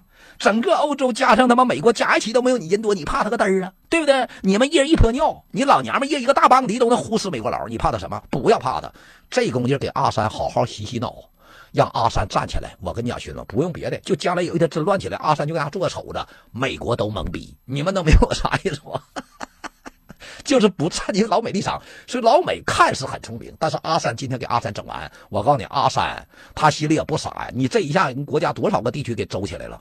本来这个锡克教这个事儿都已经老实了，能明白不行吗？他跟加拿大通过这个锡克教这个事都已经消停很长时间了，结果让美国今天又给吵起来了。你说阿三能干吗？对不对，兄弟们？这是关于阿三跟美国搞这个锡克教这个言论这个事件。你们回去老管阿三今天还有啥？哎呀！你看，兄弟们，我说是美国就干坏事你们老因为老果安排，老果老是这个诋毁美国，我不是诋毁美国。阿三今天跟美国打完这个舆论外交战之后，阿三没承认，阿三也谴责美国了，说美国此举会严严重的影响印度国内的动荡。结果印度国内真就有很多地区动荡了。但是阿三警告完之后，不到一个小来两个小时吧，两三个小时，阿三国内那叫古吉拉邦，古吉拉特邦一个最大型的化工厂。今天下午发生了大规模的爆炸，当场崩死九个人，伤二十七人，在这个工厂废墟下还埋了好几十个人。兄弟们，你们说是谁干的？阿三这个国家是愿意防他、瞧他、动他啥的，对不对，兄弟们？呃，这个国家是愿意出现这个事儿，但是不得不让人认为阿三这个国家的化工厂爆炸，我认为跟美国有有极大的关系啊。阿三说了，这绝对不是一次普通的啊意外，九人死亡，二十七人受伤，废墟下还埋了几个寡妇。哎呀！这个阿三这个国家，你听我讲啊，印度啊，印度古吉拉特邦化工厂爆炸，而且是持续爆炸，爆炸达到四个小时，距数公里之外都能看到浓烟和爆炸产生的一些那那那些什么，哎呀，火苗子啊，啊，粉尘呐，搁这天上呜飘。阿三说：“完了，这化工厂的爆炸把旁边村庄的一些住宅还有一些设施都给炸了。”阿三说了多少年，我们的化工厂也没爆过炸，因为我们我们阿三每一年爆炸的是小边工厂，就生产烟花的，每天都在炸，但是化工厂没炸过呀。头些年炸过，这二年没炸，今年咋炸的？后耳一化验说啊，车间主任是个李寡妇，天天穿个丁字裤，是他妈涤纶的，天天拧逼画大胯，俩腿咯嘎咯嘎，穿个拧逼高跟鞋，天天走。走来走去，走来走去，盯着裤是是涤纶的，打火导致化学品溢漏，点火爆炸。啊，这俩炸的，阿三说这次爆炸啊，一定要给国民一个交代。这次爆炸绝非意外，一定要让警方啊视察，查出幕后的真相是什么啊，要给一个就是交代。阿三这次爆炸啊，老莫迪呢今天都对外发表声明了，此次爆炸事故啊，令我们啊非常遗憾。哈，你老我今天还有什么消息？哎呀，新西兰，随着阿三的这次爆炸，新西兰可惨了。新西兰大伙都知道，因为老我新西兰是哪呀？啊，五眼联盟啊，就是五眼联盟，用东北话来讲就是一眼连金。五眼联盟一眼连金，什么意思嘛？都是一个妈揍的，一个一个妈揍的，但是是几个爹可就不知道了。我说对，打个对。为什么说一个妈揍的，几个爹无所谓？为啥叫一眼连金？啊，只要围围绕这个马跟他有关系的，那都是一眼连金。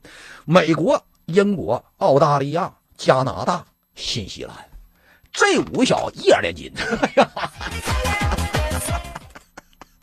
我说对，打个对，这五小们一眼连金啊，兄弟们。今天新西兰兰长对外发表声明说了，说完了，我们在新西兰奥克兰郊区发生了一场大型火灾，当场有八座房屋烧毁，一个学校烧到一半。学校的啊，女英文老师都烧跑了，而且现在目前为止，五栋啊房屋已经被烧毁，其他房屋里头到底死了多少人，伤亡情况还在调查当中。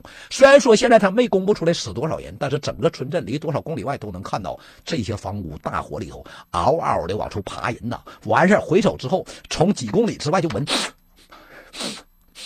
烧烤啊！哎呀，烧的什么逼玩意儿？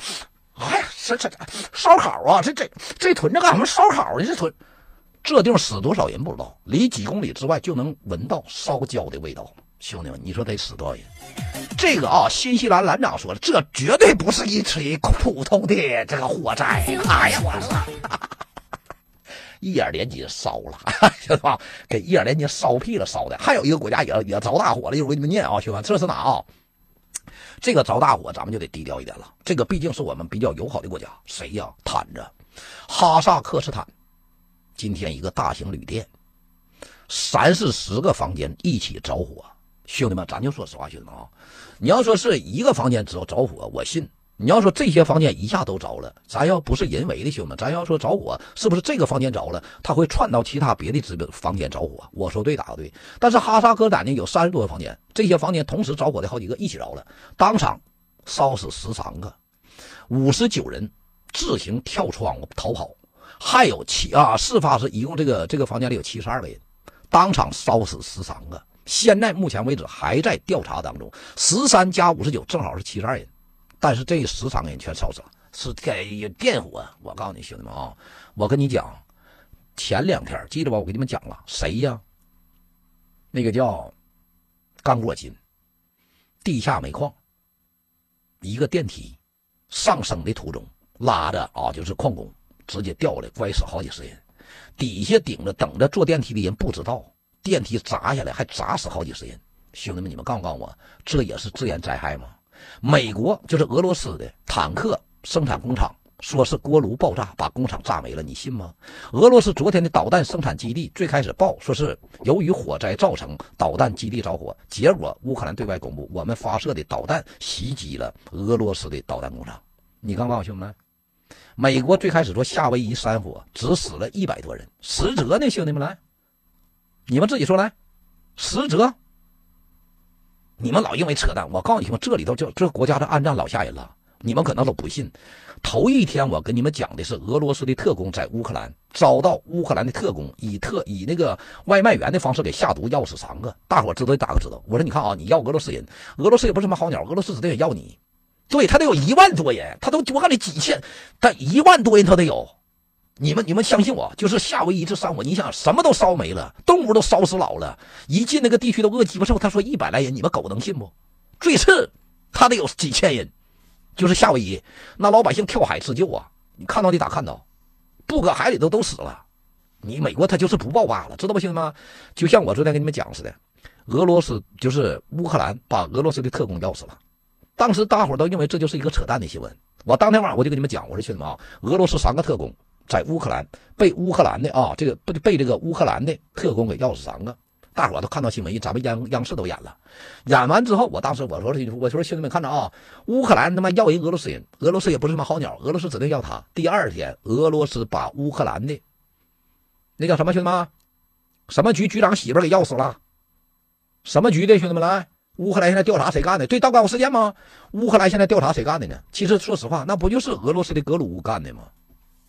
啊，情报局局长，其实也许是要的是情报局局长，但是没想到把情报局局长的媳妇要死了，知道吧，兄弟们？对，情报局啊，就是说白了，情报局就相当于美国的中情局局长。我说对，打个对，对不对，兄弟们？所以说现在看你们老认为，哎呀，局就是这个新闻媒体报的，说哪个国家这个火灾呀，跟什么都没有关系，兄弟们，我还认为夏威夷这个地区就是一个暗暗这个暗战的产物。只是美国知道这个暗战来自俄罗斯。如果夏威夷这个山火暗战要是来自伊拉克，伊拉克又没了。你们信我哥的口个气，就夏威夷，人家富富人区啥事没有，穷人区烧没了，对不对，兄弟们？你看你这哥们说老对了，在夏威夷富人区啥事没有，穷人区烧没了。那我还认为。夏威夷这山火，美国要想打谁，美国说是谁，那就是谁。但是如果要是俄罗斯干的，那指定是不知道，这是正常山火了。我说对，打对。对。有了，我今天还有什么小牙？你看哈萨克斯坦也出现这个事件啊。有了，我那今天还有什么一些重磅型的新闻吗？有什么新闻呢？啊，二零二三年最真实的新闻，听听啊。这些国家都爆炸了，着火了，那老美能闲着吗？我认为老美他也闲不着，听着啊！二零二三年十一月二十九号，美国俄亥俄州希尔斯伯勒一家汽车修理店发生了爆炸，三人当场死亡，一人住院。有关部门正在正在进行事故调查，爆炸原因尚未明确。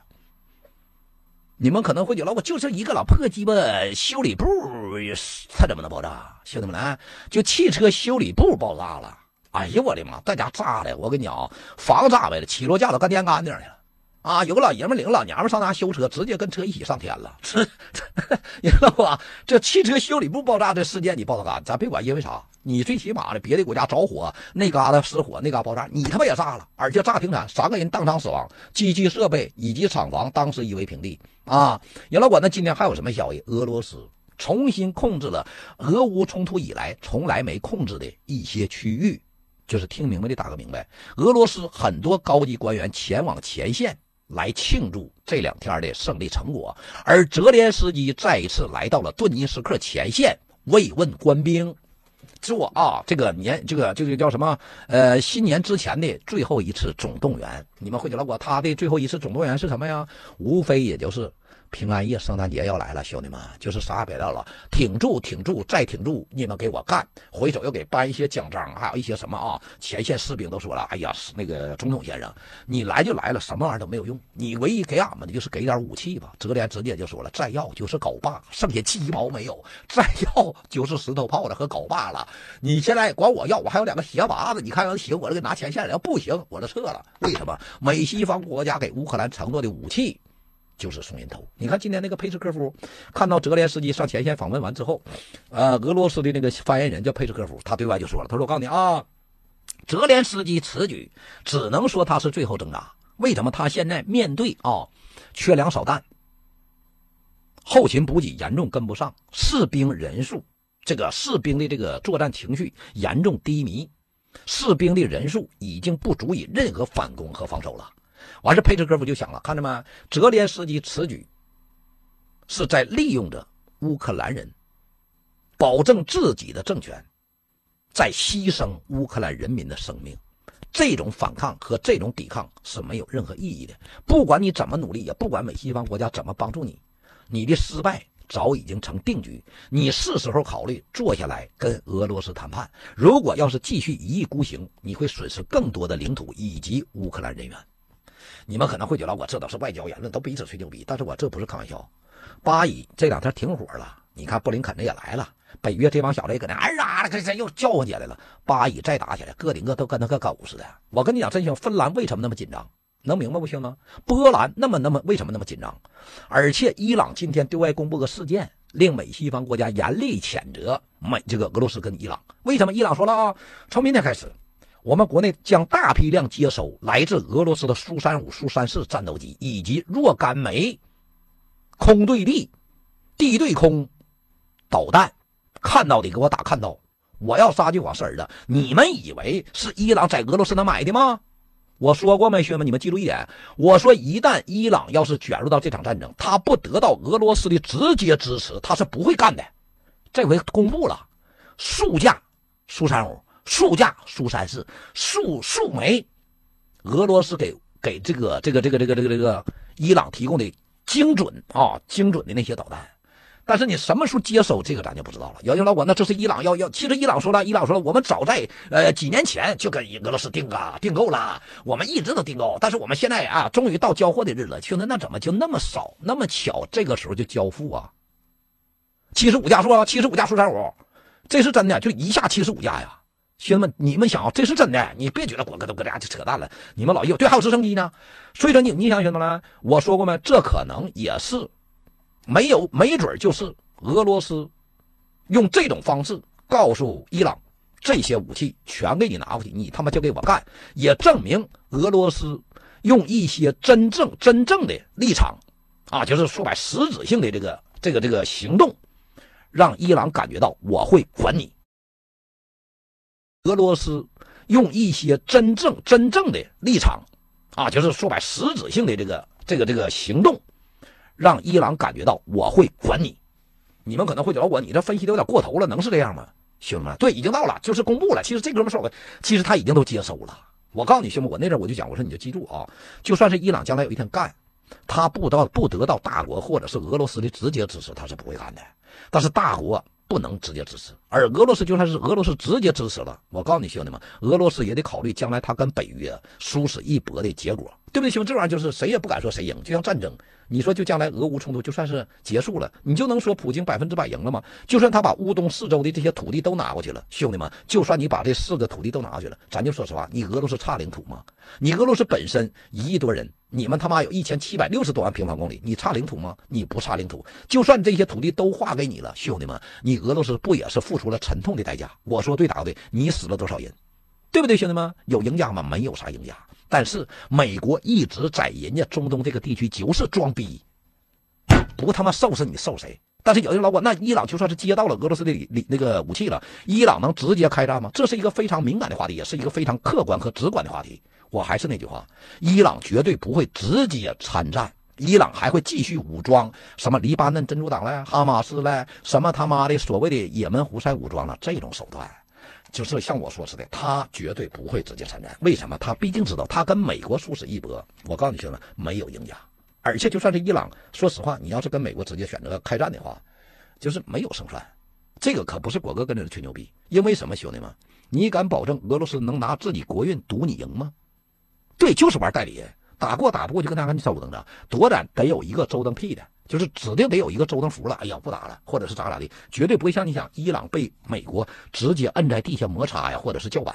你看美国今天对外公布了，说伊朗昨天的无人飞机在我们艾森豪威尔号，那叫什么什么什么豪威尔号啊，航空母舰打击群的飞行过程是完全不专业的，看到得打看到，看见没？美国谴责谴责伊朗。说你昨天无人飞机在我们航空母舰上空飞行是完全不专业的，你要对你这个行为负责，不要再出现类似事件。但是伊朗今天太装逼了，数十架无人飞机就在波斯湾，离美军啊那些战舰只有几百米，甚至。连他妈一公里都没有，嘎嘎就搁那飞，看到的给我打，看到。美国说了啊，你这属于军事挑衅。正常在国际海域，国飞机与这个其他别的国家战舰得保持十海里或者是一公里的是那个有个距离啊，我没没没记准，说必须得保持这些距离。而伊朗的无人飞机机群严重的接近了我们的一些战舰，对卡尔文森对我们的战舰形成了严重的威胁。这边刚公布完，在红海。一个导弹驱逐舰再次遭到无人飞机袭击，丁光五是出去五六，出去发出去五六枚拦截弹，拦这个无人飞机。看到视频的给我打看到，你们没看到就不要瞎白话，知道行吗？他刚公布完说伊朗的无人飞机啊违反了国际法，在他们的什么什么卡尔文森号这个航空母舰上边飞行不专业，结果不到一个小时，也门胡塞武装无人飞机直接砸过去了。美国那那那他妈的防空导弹叮咣五十就开始往下拦呢，兄弟们。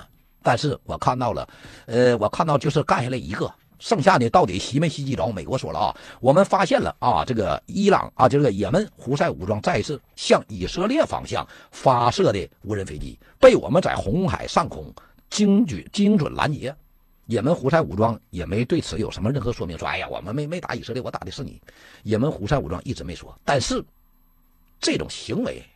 我就早就跟你们说过，我说兄弟，你们记住，老美的军事基地遭到打击，你敢保证他将来的战斗舰不挨揍吗？我说过吧，兄弟们，结果怎么样，兄弟们？头部几天，对不对，兄弟们？头部几天，他的那个叫什么导弹驱逐舰，让人干两枚导弹，虽然说他拦截了，没干着他，完事之后回首伊朗的无人飞机直接干他脑瓜顶去了啊，兄弟们，这家拍照，这顿警告，告诉你的说直升飞机给我降了，给老美整的现在是太没有面子了。你回去老国，那美国能不能是能不能在做将来把一些什么手段呢和一些准备都做足了之后打伊朗？你累掉他懒着，我就告诉你兄弟们啊，美国你就瞅他现在在中东地区频繁遭到打击，他都没主动去袭击任何一个国家，他只是挑了两个远视者去捏。他表面上说都是伊朗在武装一些武装分子打击我们美国啊，在中东的一些军事基地我们也受到威胁，都是伊朗干的。但是你都知道是伊朗干的，你打伊拉克和打叙利亚干你妈了个逼！我说对打个对？啊，兄弟们，我不是埋汰他，啊，兄弟们，你们就说来，你还一口一个都是伊朗干的，完你去打叙利亚、打伊拉克，你不是打自己脸吗？就这种懒的还跟他吹鸡巴毛牛逼呢妈！美国备战，美国拿命备啊！我告诉你兄弟，你们信都信，不信就拉倒。如果中东战争要是外溢，俄罗斯跟北约打起来，老美就完了。我这不是开玩笑，为什么这么说啊？我你们别觉得果哥说的是假话，你别看北约搁那嘎报的一些什么我们的武器库见底了啊，有的呢，我认为可能也是假新闻、假消息，在迷惑俄罗斯。我我认为也也也许是，但是有一件事是真的，他们美国的军工复合体接到北约国家在美国订购的武器的订单，已经干到二零二五年了。一旦这些战争都打起来，老美就得鸡巴瘫痪。我就我不是开玩笑，这些国家都管你要武器，你拿鸡巴给呀，给镐把呀，棒球棒子。羽毛球拍烧火棍呢？到那时候他都懵逼，我你们信的我打信，他都生产不出来。他现在就这些国家围着往围着往自己的库存存储武器，美国订单都干到二零二五年了，生产不出来，做不出来，因为他们现在根本就没有那些大的加工能力了，知道不，兄弟们？为什么？你看他现在让那个加工那个可以说是让这些什么，哎呀，加工能力回回流，把欧洲一些国家往自己国家吸呢？因为什么？他就知道一旦真正有战时那天。他加工能力都没有，你没发现美国现在所有的加工能力都是靠外加工，能明白不？我这衣服啊，这个品牌是我的，美国牌子，我搁中国做；我做的这个手机啊，牌子是我的，我在中国做；我做的这个钉子裤，王寡妇给做的，我自己国内就是玩玩品牌，剩下加工全靠其他别的国家。我说对哪个对？真正要是需要，真就需要有一天打仗的那一天，打的是什么呀？打的就是加工能力和后勤补给啊！这不是开玩笑啊，啥鸡玩意没有。啊，兄弟们，那他妈啥也没有，就让就让老娘们上前线的拿手掏去，对不对，兄弟们？士兵再勇猛，没有武器，士兵再能干，饭都吃不起，衣服都穿不上，你刚告我拿命打呀？他全是代加工。所以说，美国现在他的软肋，他也一直轻易他不会发动战争。你就是从笨里想象，有的时候老我没有人敢向美国干。我承认，伊朗是跟美国直接干，根本就没有干，干不了。伊朗跟俄罗斯联手，没有我们，他俩都打不了人家。你们可能会觉得我，你真能埋汰俄罗斯？相信我，就俄罗斯跟伊朗绑绑，他俩标榜着跟人美国干，打不过。为什么？因为美国他自己并不强，但是他带领着整个北约，他自然就强了。你俄罗斯跟伊朗去跟他们为敌，你俩跟他打玩常规，他能打死你伊朗，能打死你俄罗斯。为什么在常规力量上力量上来讲，俄罗斯跟伊朗他俩是没有能力与美西方国家直接叫板或者是开战，只能靠一些代理人战争来彼此消耗，做到战争疲劳，谁也赢不了，谁拉鸡巴倒。如果他俩是直接开炮，伊朗没有任何胜算。这你们相信我哥的口技，咱们只能站伊朗立场，但是咱们不能盲目的站伊朗立场，能明白啥意思吗，兄弟们？对美国，他他妈一直就打群架，他领一帮人干你，他不按套路出牌。我觉得为什么美国自己我就干你？美国打一个小国，他都得带多少个小弟干，能明白吗，兄弟们？你看当年打伊拉克、打利比亚、打这个打那个，哪个是他自己干的？当年打朝鲜领十七个国家呀，啊，兄弟们，这得就狗多吗？出门领一帮狼狗上去，给我咬去掏去。对他实则连自己连他妈阿富汗他都打不过，知道不，兄弟们？袁老哥，你要干什么，兄弟们？看着吗？果哥卖这个酱牛肉啊！我今天这个样子，我找了一天没找着，我大哥给我留了，我没找着。咱家人喜欢吃酱牛肉的，你们尝一下子啊！这个是纯纯的，那个叫什么内蒙古特产，兄弟们啊，爱吃肉的，九十九块九一斤半好像是。你们可能会觉得挺贵，我今天我是兄弟们啊，就是你们尝一尝，好吃接着回购，不好吃，这九十九块钱啊，你吃完给他给我扔了，九十九块九哥给你退了。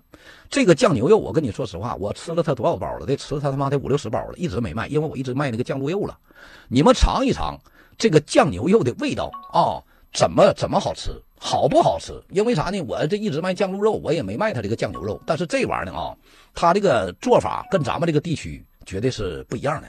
它这个酱牛肉，你吃完之后，让你感受一下什么是内蒙草原的牛肉的这个味道，看起来假一样，就跟咱的酱牛肉一点不一样。知道不行吗？你想想，我这边酿的卖的酱卤肉，我还能卖酱牛肉吗？就是因为它这玩意儿确实太好吃了，知道不，兄弟们？我样品都没拿啊！咱家认为就是爱吃肉的，你就尝尝它这种嘎嘎新鲜的牛肉给你做出来的酱牛肉好不好吃啊？回家来且嘎嘎嘎切点，自己自己喝点小酒啥，你们感受一下子啊！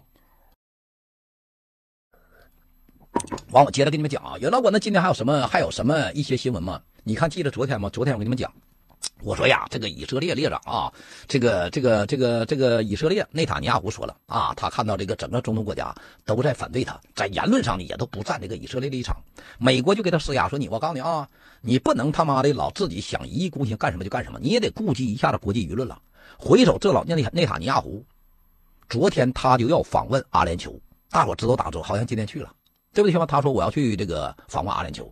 干哈？就是在拉拢一些其他国家，别都全站在巴勒斯坦或者是伊朗立场。结果你们形成阿拉伯联盟，那以后发不发动战争不说，以后你们在这个中东不都孤立我吗？他在搞外交去了，是不是啊？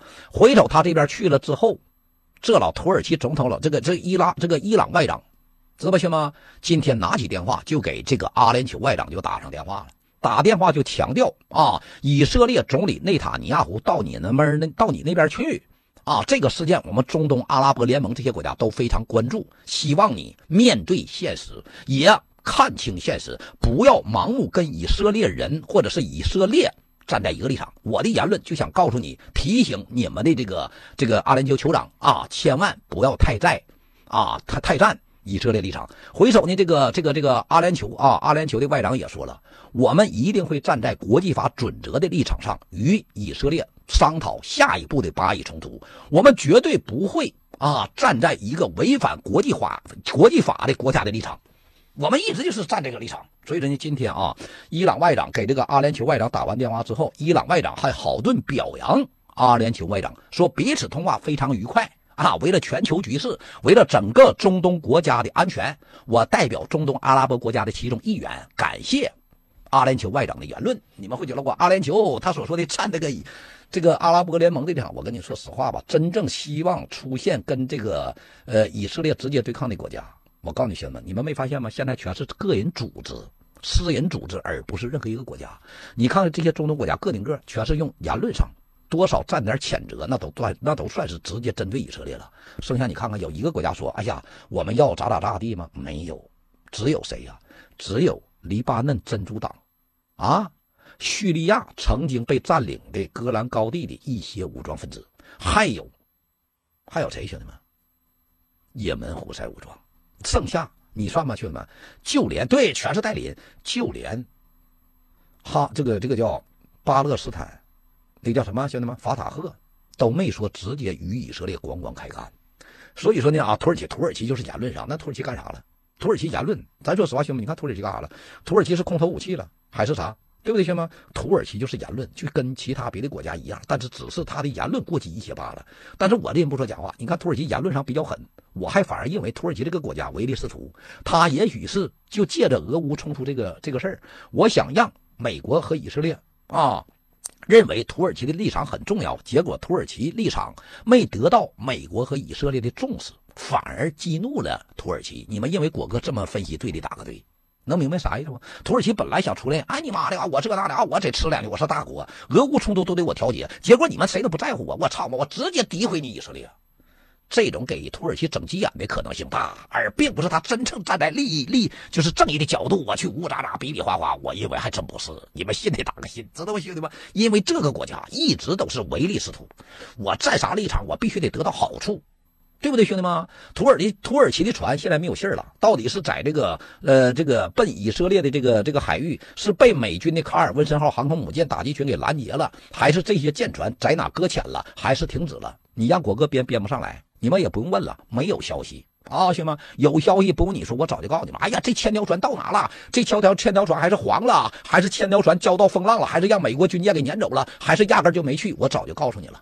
这个事件是有，但是这个船到底去哪儿了？没下文了，知道不行吗？也许兴许被美国给吓唬的不让去了，也许是去了之后让人给他妈的直接给整他妈解散了，或者是咋？这个东西不知道。也许是这个言论干完之后，以色列或者是美国给土耳其钱了，这个事儿解决了都有可能。为啥？因为这一条一千条船的发起国要是其他别的国家，可能就有下文；要是在土耳其。也许没有下文，你们可能老一一个劲儿老认为我是吹牛逼。你看看央视演面，这个新闻都是得到央视证实的，央视都报了，说什么呢？报土耳其组织了一千艘将近四十个国家，两个四千五百多人那个商船奔这个这个以色列去了。但是要是没有下文了，我就可以理解为，也许得到了每个国家的钱了，所以你别来了，或者是得到一些什么好处了，解散了。没有下文，我认为就是这个。如果是要是要是得到一些遭到一些国家别的打击，或者是在哪哪哪遇到什么风浪早爆出来了，但是现在没有事儿了，我认为这就是什么呢？到手了，哈 哈我的言论发表完之后，好处了，OK 了，拉鸡巴倒了，好哥们儿，我操，误会啊，我吹牛逼呢，解散。呃，所以说大伙就不要再问，就是你这个事儿发起过，在别的国家都可以，就是在土耳其呀，对，打道回府的可能性都有啊。你就吹牛逼，我吹牛逼，你愿意听听，不爱听滚出去，这叫监管，滚出去。这熊样长像狗似的啊，嗯，关着。下点消息啊，现在还有什么？有的老伙那今天随着这些国家以外还有什么消息？你听着啊，以军。袭击了约旦河西岸难民营，抓捕十七人，击毙两人，杀死四名儿童，其中有两名十五岁的男孩。你们可能会觉得我，你为什么这次巴以冲突为什么就这么站巴勒斯坦立场？怎么一点以色列立场不站？我告诉你兄弟们，第一，哈马斯啊，就巴勒斯坦人民是弱者，这是第一个。但是最重要的，我告诉你兄弟们，我这人不说假话，我这人向来都是恩怨分明。就是以色列他干的对，我他妈都说的错。为什么？第一，他站在美国立场；第二，他他妈是第一个随着美国第一个向咱们某地区卖武器的国家，他是第一个我们这块有新冠疫情，操他妈他遣返我们国人的国家。你们可能会觉得我这样，我他妈撒谎是你孙子。所以说，我告诉你兄弟们，就这个边国家，我这辈子就是他对我都不会站他立场。咱们家人，你记住，只要是个中国人。咱不管说咱们是谴责的，是给他造谣，就这逼国家，知道兄弟们不要站他立场。你们肯定会觉得我真假，你说的对吗？我接受你们所有人上网查，所以说我一直都不站他立场。这逼国家跟咱们一直持对立面，他从来都是陪捧那个美国臭脚，站我们的对立面。在联合国这一块，操他妈他就一直没说跟咱们一起同行过，知道不，兄弟们？这国家嘚乎他，那滚去死！巴勒斯坦人多可怜呐！啊，兄弟们，这国家你们整的家都不家，国都不国，人家你给杀老了。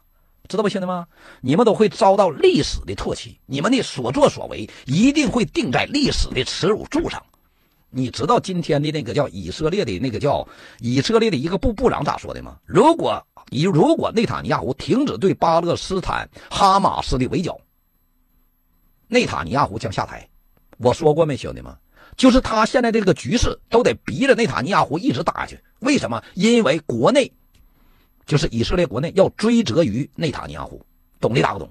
你看我前天预测的，我是这说的不，兄弟们，我说你记住，兄弟们，就现在以色列对巴勒斯坦的哈马斯，你让他停都停不了。为什么？一旦要是停，你就不信，我就不信以色列这些国民不追究你内塔尼亚胡的这个毛病。你就算你将来不管找谁做垫背的，说哎呀，我这个情报局局长有问题啊，我们国防部部长有问题，兄弟们，你是这个国家的元首啊。你能推掉责任吗？所以说呢，今天啊，以色列的一个一个部的高级部长就说了，如果以色列停这边停止，那天那边内塔内塔尼亚胡马上下台，必须下台。所以说，我就告诉你，就是为了他让自己不下台，他都停不下来。我说对，哪个对？知道不，兄弟们？犹太人啊，人家咱们吧，怎么说呢啊？咱们要一都说犹太人不好，这玩意儿嘛，也是有点有点这个一概而论了。就像土耳其认为库尔德人不好。我还不一定就认为库尔德人都不好，人之初性本善，咱们不能大伙都说犹太人不好，知道不？兄犹太人也许有好人，也不能说犹太人都不好，只是我跟你说说，他们这个人种相对比较聪明和奸诈，能懂我啥意思不？就比方说，就像土耳其说，哎呀，这个库尔德人妈的天天揍他，兄弟你们记住，越打他，他越要反抗，越反抗，他对敌敌对国来讲就越可怕。我说对，打个对。如果从小到大从他生下来，谁对他都好。我就不信所有的犹太人他都是他妈的蛇，但是他站太里坏不？他站，但是也绝对不像大伙说的，所有犹太人或者是所有人都是坏人。能明白我啥意思，兄弟们？你看我不撒谎，希特勒唯一没杀的一个犹太人，你知道是谁吗？你们可能会觉得我真假，我我我不撒谎啊！希特勒老家原先是奥地利的，是不是奥地利？我奥地利，我应该没记错，应该是奥地利的。这小子小时候是跑他妈意大利啊，跑这个这个这个这个德国去偷摸学画画，当他。他的母，他的父亲，啊，跟他妈结完婚之后，知道不，兄弟们？他的母亲跟他爸结完婚之后，他爸是个酒蒙子。希特勒他爸爱喝酒，回首他爸不长时间就死了。完事呢，这个他妈的这个希特勒就在德国学画画，就想参加一个那叫什么画展，想考一个考一个什么他妈的这个什么什么画画室什么学校，希特勒就没考上。回首希特勒就出去打工去了，他的母亲在家里就有病了。知道不？奥地利是不是？我记得应该是奥地利，是奥地利吧，兄弟们。完，他母亲就有病了。他母亲有病了之后，他家邻居就是犹太人，这个犹太人一直照顾他母亲，给他母亲送饭，给他母亲治病，这是真的。希特勒就最后儿，知道吧，兄弟们？所有犹太人他都杀，就这这个帮助他母亲这个，他没杀。你们可能都不觉得我不信了，真的，兄弟们。所以说，你不能说都是坏人。坏人吧，咱们就像咱们似的，呃，他爸是私生子啊。咱就说实话，兄弟们，咱们人，你都是好人吗？你们的人就都是坏人吗？咱不能一概定论啊，咱不能说，哎呀，犹太人都坏，咱不能那么说，只能说有局部部分人有好人有坏人，就像咱们屯子里也是。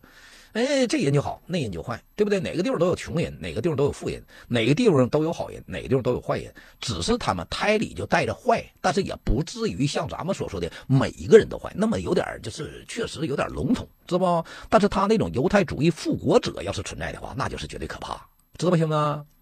俺们这个还有犹太人，直播间都都是好人，对，就是咱也不能那么说，兄弟们，哪都有好人，哪都有坏人啊。只要说，反正犹太人不咋好，这是真的，这是这这，咱们就那犹太，对呀，爱因斯坦不就好？你要说爱因斯坦是好人，其实说实话，我怎么说呢？咱也不能说人家不好。爱因斯坦是唯一一个啊，给美国介绍生产核武器的，搞那个叫曼哈顿计划的一个书写书信的这么个人。我说对，打个对。是他给当年的美国总统叫啥？丘吉尔是谁吧？写的信说的赶紧的啊，通过别人送的线，说我告诉你快点的，现在有一款新型武器，这武器你马上做，做完之后你就会统领世界。你要是不做，让德国做出来就完了。罗斯福，对不对兄？是不是有这个事儿？完这个求到谁了？求到罗斯福手下的一个秘书，秘书拿着爱因斯坦的信跟罗斯福说了，说你看罗斯福啊，呃，总统先生有一个叫爱因斯坦的这个科学家呀，给你一封信。当时罗斯福不看，罗斯福说不看，没有空看那玩意儿。他说你不看，那我给你讲个故事。他说你讲个啥故事？他说哎呀，当年打仗，在哪哪哪哪打仗，哎，怎么打也没打过。结果这小子研制了一款什么什么大炮，一下就把这个国家打败了。完了，这罗斯福正跟他俩吃饭呢，一听说你讲了个武器谁设计的，谁发明的？他说我要给你拿的这封信，就是这个武器能解决，啊，能改变整个二战的局势。就真的，罗斯福吃饭点把这个。信打开了，一手提写的。哎呀，爱因斯坦写的。爱因斯坦就跟他讲了，说：“哎呀，德国现在希特勒正在挪威啊，是不是挪威？在那叫什么了，兄弟？那国家叫啥了？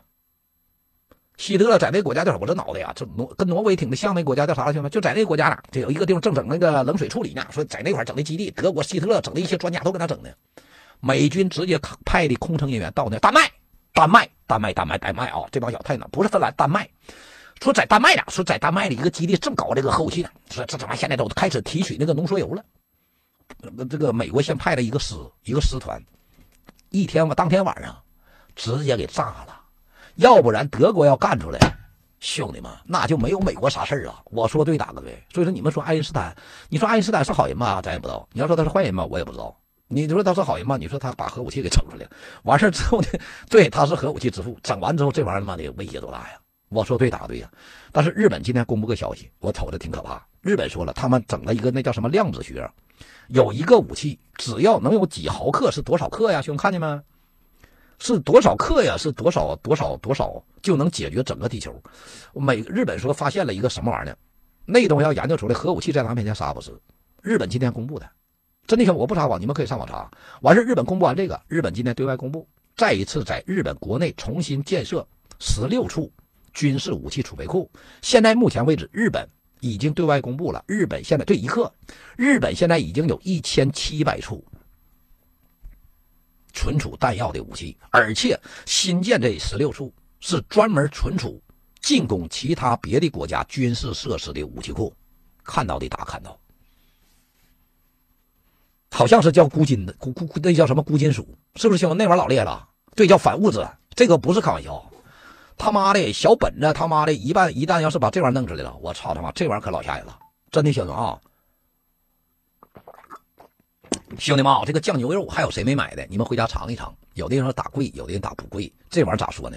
愿意吃的不差钱的，多钱也不贵；不爱吃的差钱的，多钱都是贵。如果说觉得果哥推荐你们这个酱牛肉能好吃的话，咱家人，你们感受一下子啊，尝尝果哥给你们推荐的这个酱牛肉，能不能感受到比你们搁当地，你们说一些什么，哎，呃，菜市场了，或者是自己酱的了还好吃还便宜？你们尝一尝啊。呃，这个早就被发现了，属于不，他不是发现，是日本人在研究，知道我意思吗？哈，对，好像是叫什么孤蛋，文文都知道是吧？叫什么孤蛋，这玩意儿挺整挺狠。我今天一瞅，我操，就这点玩意儿就能改变整个地球。他说这有这个威力，美国也证实了，说这东西那叫什么反物质，是不是兄弟们？挺吓人啊！日本今天就是重新开启建设什么他妈导弹什么武器库，这事儿我跟你讲，真的行吗？也得重视啊，这不是开玩笑。因为啥？现在的小本子可能是没有什么能力与这个所谓的大国对抗，架不住你这边没啥准备。他他妈忘死准备呀！我说对打对，对不对，兄弟们？你看这个以色列部长就直接威胁了：内塔尼亚胡要是同意停战的话，那政府都得解散。内塔尼亚胡将辞职，或者是被迫辞职，要不就得是政府直接解散。呃，有的人老管那，今天还有什么还有什么消息吗？就是关于日本还有尹锡悦了。尹锡悦的今天那个向全世界、向整个韩国道歉啊。虽然说这不算什么大新闻，但是我给你们讲一下子。尹锡悦最开始吹牛逼，那跟美国还有一些其他别的国家那关系搞得老好了，要跟啊沙特还有一些其他国家竞选下一届的啊那叫什么世博会，那对外吹牛逼，韩国竞选世博会的可能性是百分之八十以上，因为我们已经得到了很多盟友国的认可和投票。结果今天一投票，人沙特干一百来票，他干二来票。知道不行吗？丢人都丢到极限了，回首向整个韩国道歉。说韩国思密达，月子今天拉了，让沙特给我拍在沙滩上，给给我卷懵逼了啊！很丢人呐，沙特赢了，月子整他妈二来票，二十九票是不是兄弟们老丢人了，韩国人嗷嗷骂，对二十九票，韩国人思密达骂他呀，去你妈的吧！一百一十九对二对，当时就落他他将近一百票，我的妈，一百一十九对二十九。向全国人民道歉！我大西瓜，口令西瓜来，咕噜前咕噜不转，后咕噜转，后咕噜转，前咕噜转，我翻车了，我拉了，当时拉了，知道吗？尹锡悦这回可越着了啊！他对外最开始吹牛逼了，我们有百分之七十到八十的这个这个这个这个这个这个竞选的可能，太有这实力了。你记得他自己说过没？哎呀，对，鸟叔都哭了。他最开始吹牛逼说什么啊？韩国发明了这个，韩国发明那拉，发明了发明了那个，韩明竞这个韩国竞选这个世博会太有可能了，太有这个实力了。结果让沙特给干的是狗逼不是啊！辣白菜不好吃，我也没卖辣白菜呀哥，坐月子了啊，吃丢人了，真的这个事老丢人了。因为啥？你你要是跟人家差不多少，你比方说百分之五十，百分之五十九，你占百分之四十一也不丢人。对不对，兄弟们？人家占百分之六十，你占百分之四十；人家占百分之七十，你占百分之三十。这咱说实话也算是接近。这一瞅，你跟人沙特竞竞争，那就相当于刘翔跟我跑菜似的啊，兄弟们！一共俩人跑，刘翔第一，我第二。这第一跟第二的差距，那简直就是太吓人了。我说对，打个对，能明白吗？一共俩人跑，你还拉了个逼样，就像美国跟第二国家都是啊。什么叫美国跟第二国家都是？看似啊，第二个国家在接近，陆续接近。美国的一些 GDP 啊，包括军事上的一些这个这个这个排名啥的，但实则差距很大。就像尹锡悦今天暴露出来的，那简直不是说给你你给国民道歉，你压根儿就没那两下子，你出去跟人家竞选，那不纯属是丢人现眼吗？能明白不，兄弟们？我连你都打不过，我非啥要跟中国拳击冠军打拳击？我说对打不对？啊，兄弟们来，我就觉着搁俺屯有几个老娘们要给打趴下了，我就认为我全世界拳击无敌了，结果我挑战泰森，兄弟们。啊！我说的能明白啥意思吗？就是俺村老娘们整不过我，我觉得我就觉得我厉害了，我要跟泰森干，就是实力根本就不存在，你去竞选，你是纯属丢人现眼。啊，泰森也没出场，我就是就是用这种比方，你说你能整过人家吗？根本就整不了，完你上那去丢人现眼去，对不对，兄弟们啊？